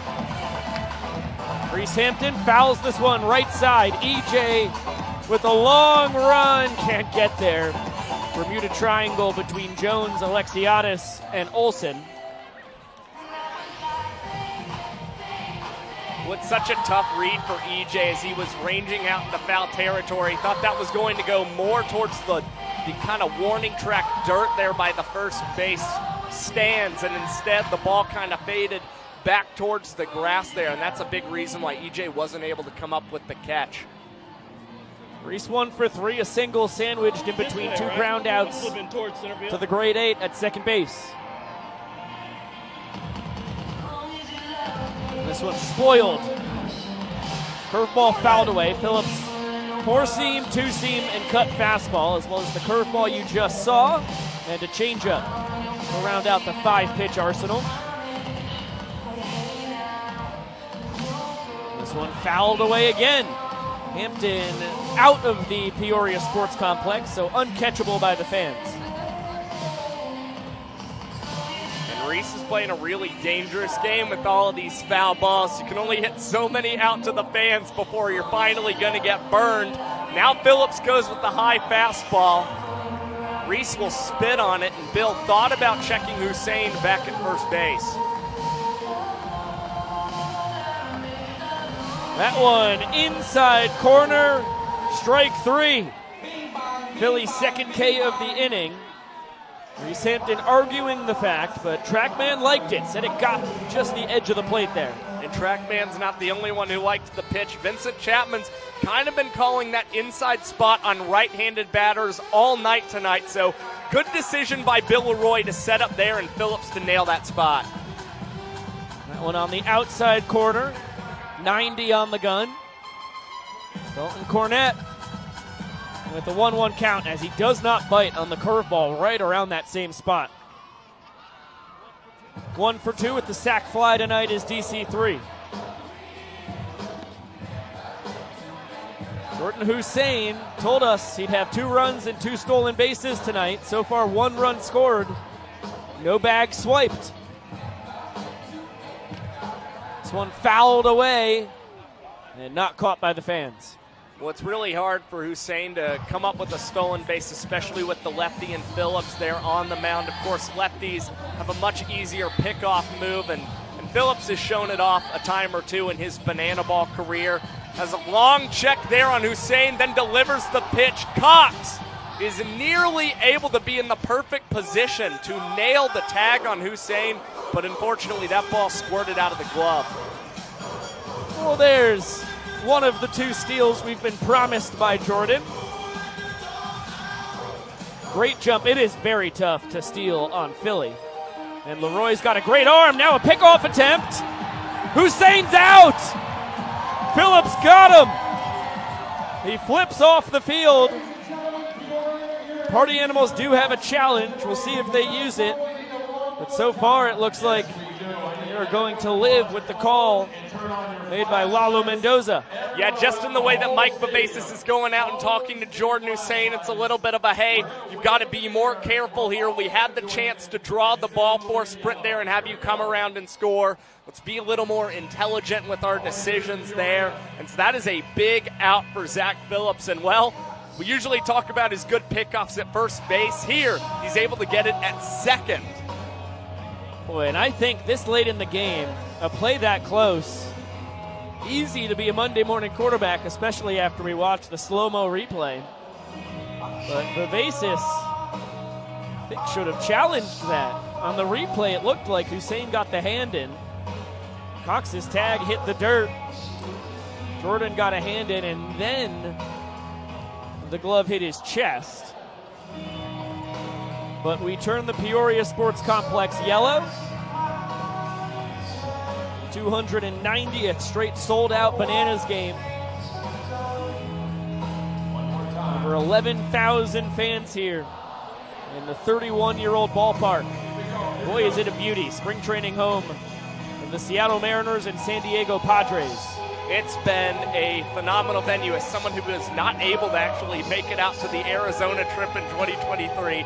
This place has been outstanding, and it is so cool to see all the fans just sitting out on the berms in right and left center, waving their phone flashlights to yellow right now.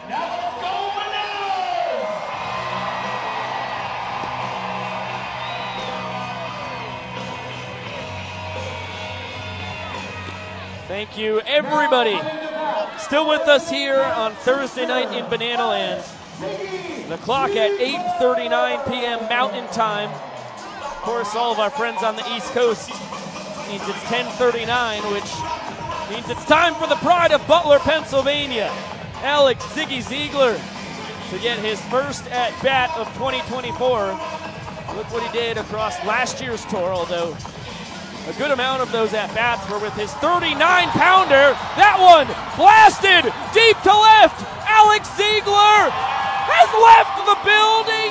No. What's the call? Lalo Mendoza has not signaled if it was a home run or not. Neither has Bryson Wheeler. For now, it's a two bagger for Ziggy. Boy, did he get all of that. And the Bananas do not have their challenge, so they can't look at this under a review. We can, though. It won't affect what happened on the field. Tough to tell there. I think it one hopped the wall. It looked like it stayed in the park to me. It did. Holy moly. Ziggy, warning track power, will be content with a double on the first pitch he sees in 2024. And pitch run for by Malachi Mitchell. That was only the third time Alex Ziegler has ever faced Drew Gillespie in his banana ball career. That's his first hit, and I think from now on, Drew Gillespie's going to show Ziggy a lot more respect at the plate.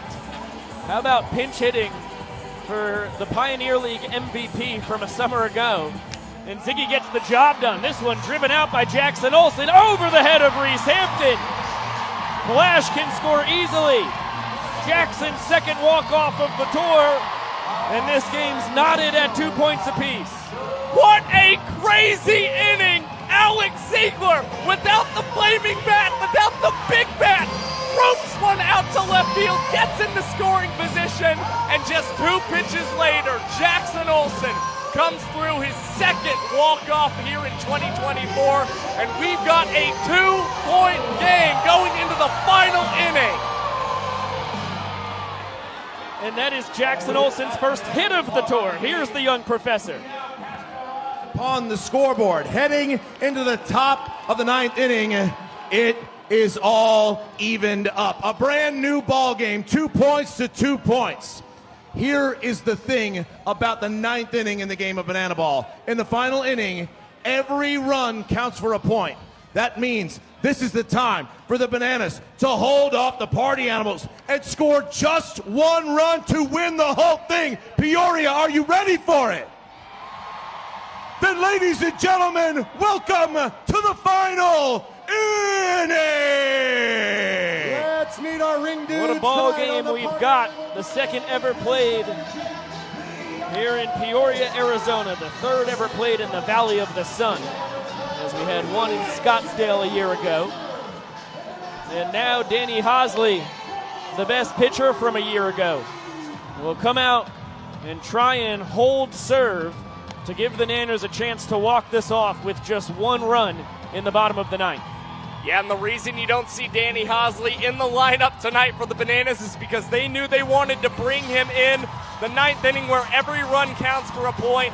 And Hosley, so valuable last season in his first appearance in 2024. Hos pitched across two innings, gave up three hits and an earned run, had a sprint and a strikeout. And for Hosley, a 4 minute and 31 second average MPI. And he's usually a guy who will have higher MPIs than a lot of other guys, but mainly it's because he racks up so many strikeouts on the mound, struck out 37% of all the batters he faced in 2023. It's gaudy. Those are gaudy numbers. Video game numbers. Tough part of the Party Animals lineup. Hitters two through four. DC three, Skole, and then Fisher. That one misses down and out. By the way, that Jackson Olson walk-off double to win the eighth. Trackman had it at 102 miles an hour off the bat. Jackson has driven in two runs so far this year. They both won innings. And he is the only man with multiple walk-ups. Check that. Everybody's walking up to the plate. He's the only man with multiple walk-offs here in three plus games of banana ball. Check swing. Cornett able to hold up. So 2 1 coming from Hosley. That fastball at 91, according to Trackman. And now the count 2 and 2. Hosley with that low 90s four seam fastball. A devastating Vulcan changeup, his best pitch, and then a 12 6 curveball. That is nothing to laugh at either. That one, diving stop EJ to his feet to Hosley. Huge play by the defensive replacement, Eric Jones Jr. Huge play for Eric Jones Jr. He is hyped, and all of his teammates come and circle around and giving him some tap, some taps on that hat. I mean, this is the guy who started the game as the EH for the Bananas, and now just three innings into playing first base, comes up with might be the play of the game tonight. You can see the emotion right there. Former Mariners and Twins minor leaguer. This is the Mariners spring training home. EJ has spent a decent amount of time here in the Peoria Sports Complex from his time in the Mariners organization as a player and then as a bullpen catcher in the summer of 2022. Jake Skole ahead, three balls and no strikes. 0 for 3 tonight. Scored the run that won the first inning.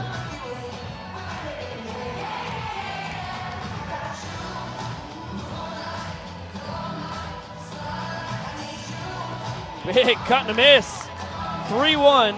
And Hosley with a 90 mile an hour heater that bit down below the knees. Big payoff coming. Called strike three. Oh my goodness. Jake Skole has a good reason to be incensed here. Hosley celebrating. That thing was around his shoelaces. That's a tough one. That is now five strikeouts looking for the party animals tonight. They haven't been the biggest fans of Vincent Chapman's zone, and it really shows as this team, again, does not strike out many times, and when they do, it's usually swinging. I think in general, Vincent has been good tonight, but Jake Skole and Jason Swan have major bones to pick with him, legitimate ones.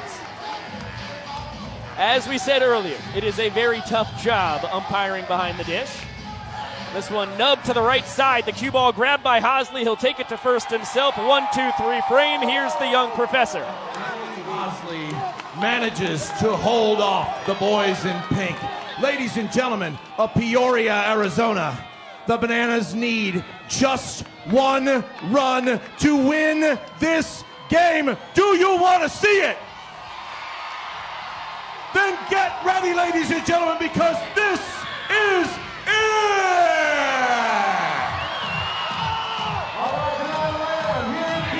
Hosley does what he does. Three up and three down. Strikeout mixed in, whether it was deserved or not. And now it's going to be 9, 10, and 1 for the Bananas as the folks here in the Silicon Desert rowdy for some free merchandise being sent in their general direction. Dylan Porter will be the new man on the mound to face Bill Leroy, Ryan Cox, and then at the top of the lineup, if we get there, DR Meadows. Dylan Porter was the only man to make multiple appearances in the opening series in Tampa through two innings and gave up three hits and five runs, but none of them were earned for Dylan Porter. Had some troubles defensively behind him and well, Porter allowed two sprints but didn't get a strikeout, but he has been four for four in his save opportunities for the Party Animals. Head coach Mike Vivasas loves him as this team's closer, and this is the guy that they can think that they believe can get them to showdowns tonight against the Bananas. And we'll see with Leroy and Cox at the bottom of this order if the Bananas use their golden batter.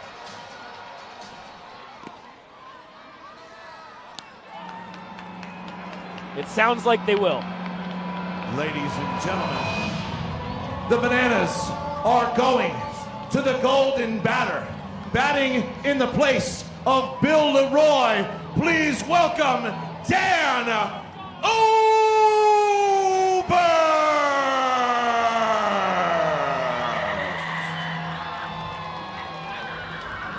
Stan's third trip up to the plate as a golden batter. He's seen two pitches and made two outs. See if Dan has a little bit of a more patient approach in his third golden batter appearance of the tour. He will take ball one, and Dan, usually an aggressive hitter who likes to hack, but last season against Dylan Porter, batted 412 against the right hander, so the Bananas believe that he can get on to start this inning as this one is grounded to short. Chase Acuff goes between the legs, and Jason Swan, I don't think, held on to the ball at first base, so Oberst will reach on an E3. Wow, that's a surprising one. I had already started writing 6-3 TPO. And the party animals have saved their challenge and will now deploy it. So we will take a look at this in the replay. Bryson Wheeler has had one play overturned tonight already. Zach Frangelo and Vincent Chapman get the Riedel headsets on, and let's get a gander.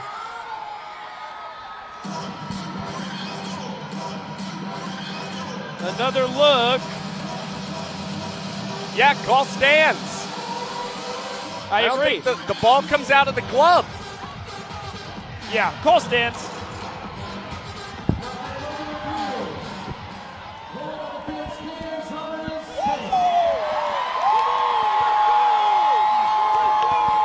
A very rare error there from Jason Swan, who is normally very sure-handed at first base.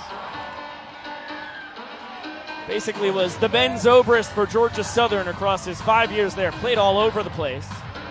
Now the game's winning run aboard. Dan Oberst, as good a base runner as you can find, not just in Banana Land, anywhere in the Northern Hemisphere. And again, he's been in Tyler Gillum's system for so long that he is very familiar with the green light special. You see him dancing over there at first base for the Bananas. And Ryan Cox, who's got two hits tonight for the Nanners, is ahead in the count 2 0 against Porter. A dribbler up the middle and a well placed dribbler down the third baseline. Noah Fisher now is occupying that spot. And a 3 0 count on Cox.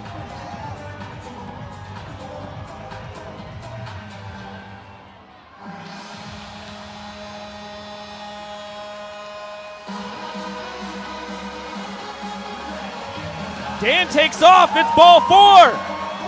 Party Animals got to be quick with their sprint defense, or this is it. Oberst gets a stop sign.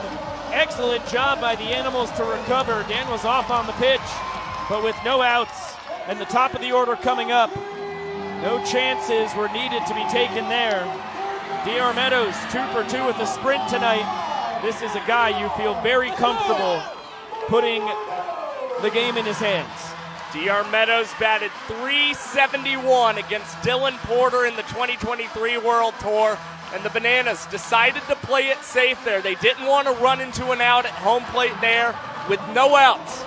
Conservative move, keeping Dan Oberst just 90 feet away from scoring. Party Animals will try and counter that by shifting the entire infield in on that grass and taking off on the very first pitch from Porter. It's Ryan Cox now reaching second base. Fouled straight back. The full capacity crowd bouncing here in Peoria. Our fourth game of the season. Here on our second stop. Nanners looking for their first win. That one up the middle. DR Meadows does it. He's your hero. Oberst scores.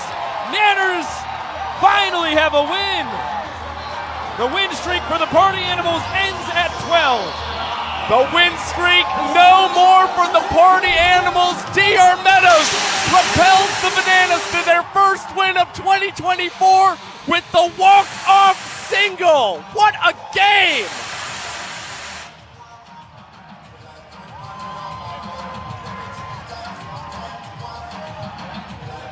Boy, did they need that. They're now one in three on this young season. And we finally get to see how they will celebrate victories here in 2024.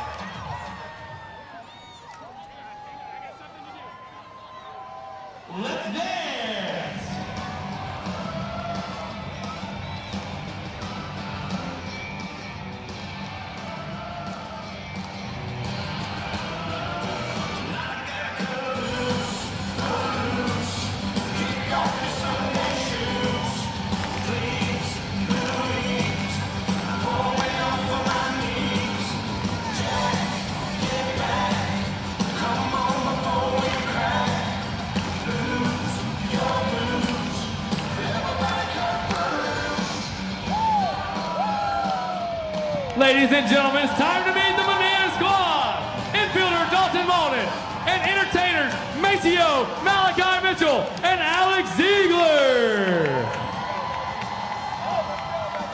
down next, Cowboy Kyle, our starting pitcher, and myself, Bill LaRoy.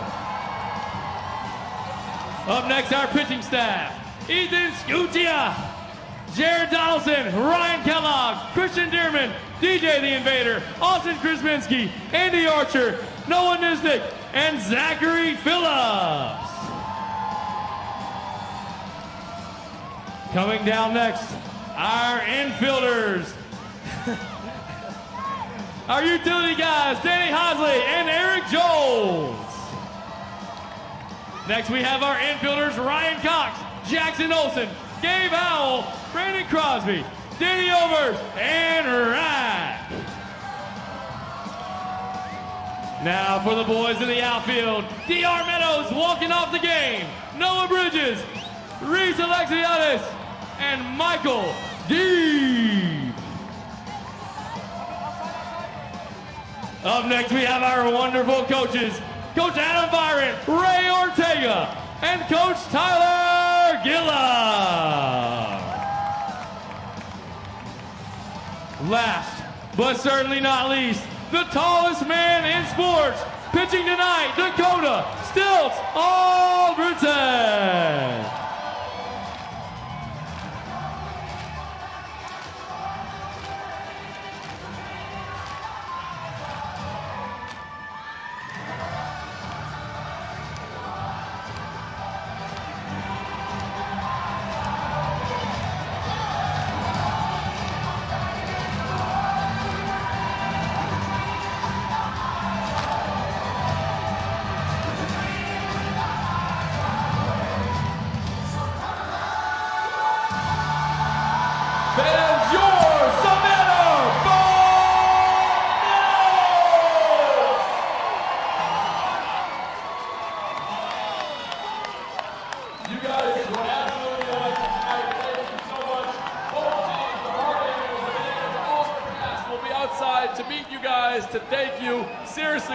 most electric, energized crowd we've ever had. We love you guys. We'll see you outside.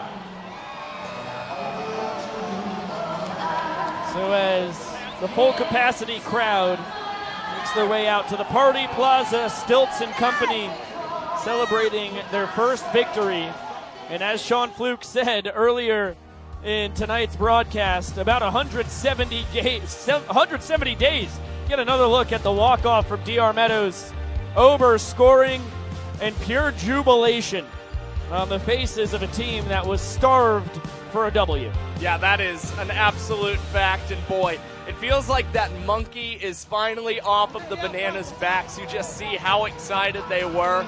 And hopefully, it's good momentum for them as they now try to stay, will try to pull off a sweep here in Peoria and even up the tour at three games apiece. That's right. They can win Peoria with a victory tomorrow night. They can sweep it, of course, if they follow that up with another win on Saturday. All three games here in Peoria are night games. And one more treat before we shut this thing down tonight.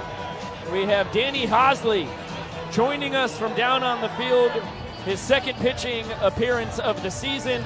And boy, is it an important one. A one, two, three, top of the ninth with a strikeout. Haas, if you've got us down there, how good does it feel to finally have a win?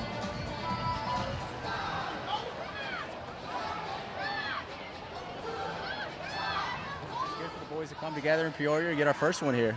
Hosley, you get to come in the ninth inning, a situation you're very familiar with. Set the party animals three up, three down, and a big thing that was really the bugaboo for you guys during the last series. Seven ball four sprints allowed in the ninth innings of games. Tonight, no ball four sprints for you. Just how good was it to see really the entire bullpen? Noah Niznik, Zach Phillips, and yourself just able to shut down the party animals the rest of this ball game. I mean, it was huge. Kyle set the table for us. Niznik came in after that, shut him down. Phillips got the shutdown, and then to finish it off with a win tonight just felt great for the boys. I know, uh, like I said, it takes takes a big pressure off our back getting that first one, and um, you know we got a long tour ahead of us, and I think we're just ready to keep competing. So the 12 game losing streak is no longer. Is over. Oh, it I is think I over. lost. Oh, Oh, there we go. There we you're go. back. We're back. Uh, I just want to know what the vibes were like in the dugout tonight because the party animals were up two points to nothing, three innings into the ball game, and and when you're having such a trouble defeating losing you, this Pico. team, oh, I'm coming in, I'm coming out. What? How did you guys stay composed tonight? Is my long-winded question. Uh, I mean, to be honest with you, man, top to bottom, we just had a really good showing from the squad, man. I mean, talk about guys coming off the bench. Ziggy leading off with a double, and that, uh, and, I mean, just an absolute shot from the Yeah. kid into left field. Top to bottom, guys coming off the bench, just doing their job. Our starters doing a great job holding it down. Doc just absolutely tearing it up at the uh, at the top of the order right now. I don't know what he's hitting. Josh, you got me on the numbers there. Uh, Ziggy, Yeah, I, yeah guy's raking right now. Ziggy is one for one, so he's batting 1,000 on the tour. Oh yeah, Ziggy raking, Doc raking. I mean, the boys, the boys are ready to go. We're ready for Peoria. Ready for the rest of the tour. Doc nine for 15. I think that's like There it is. 667 with my quick uh, math Oh, up here. I think I lost you boys up there. Danny Hosley, thank you so much. Have fun out on the plaza. Thank you, boys.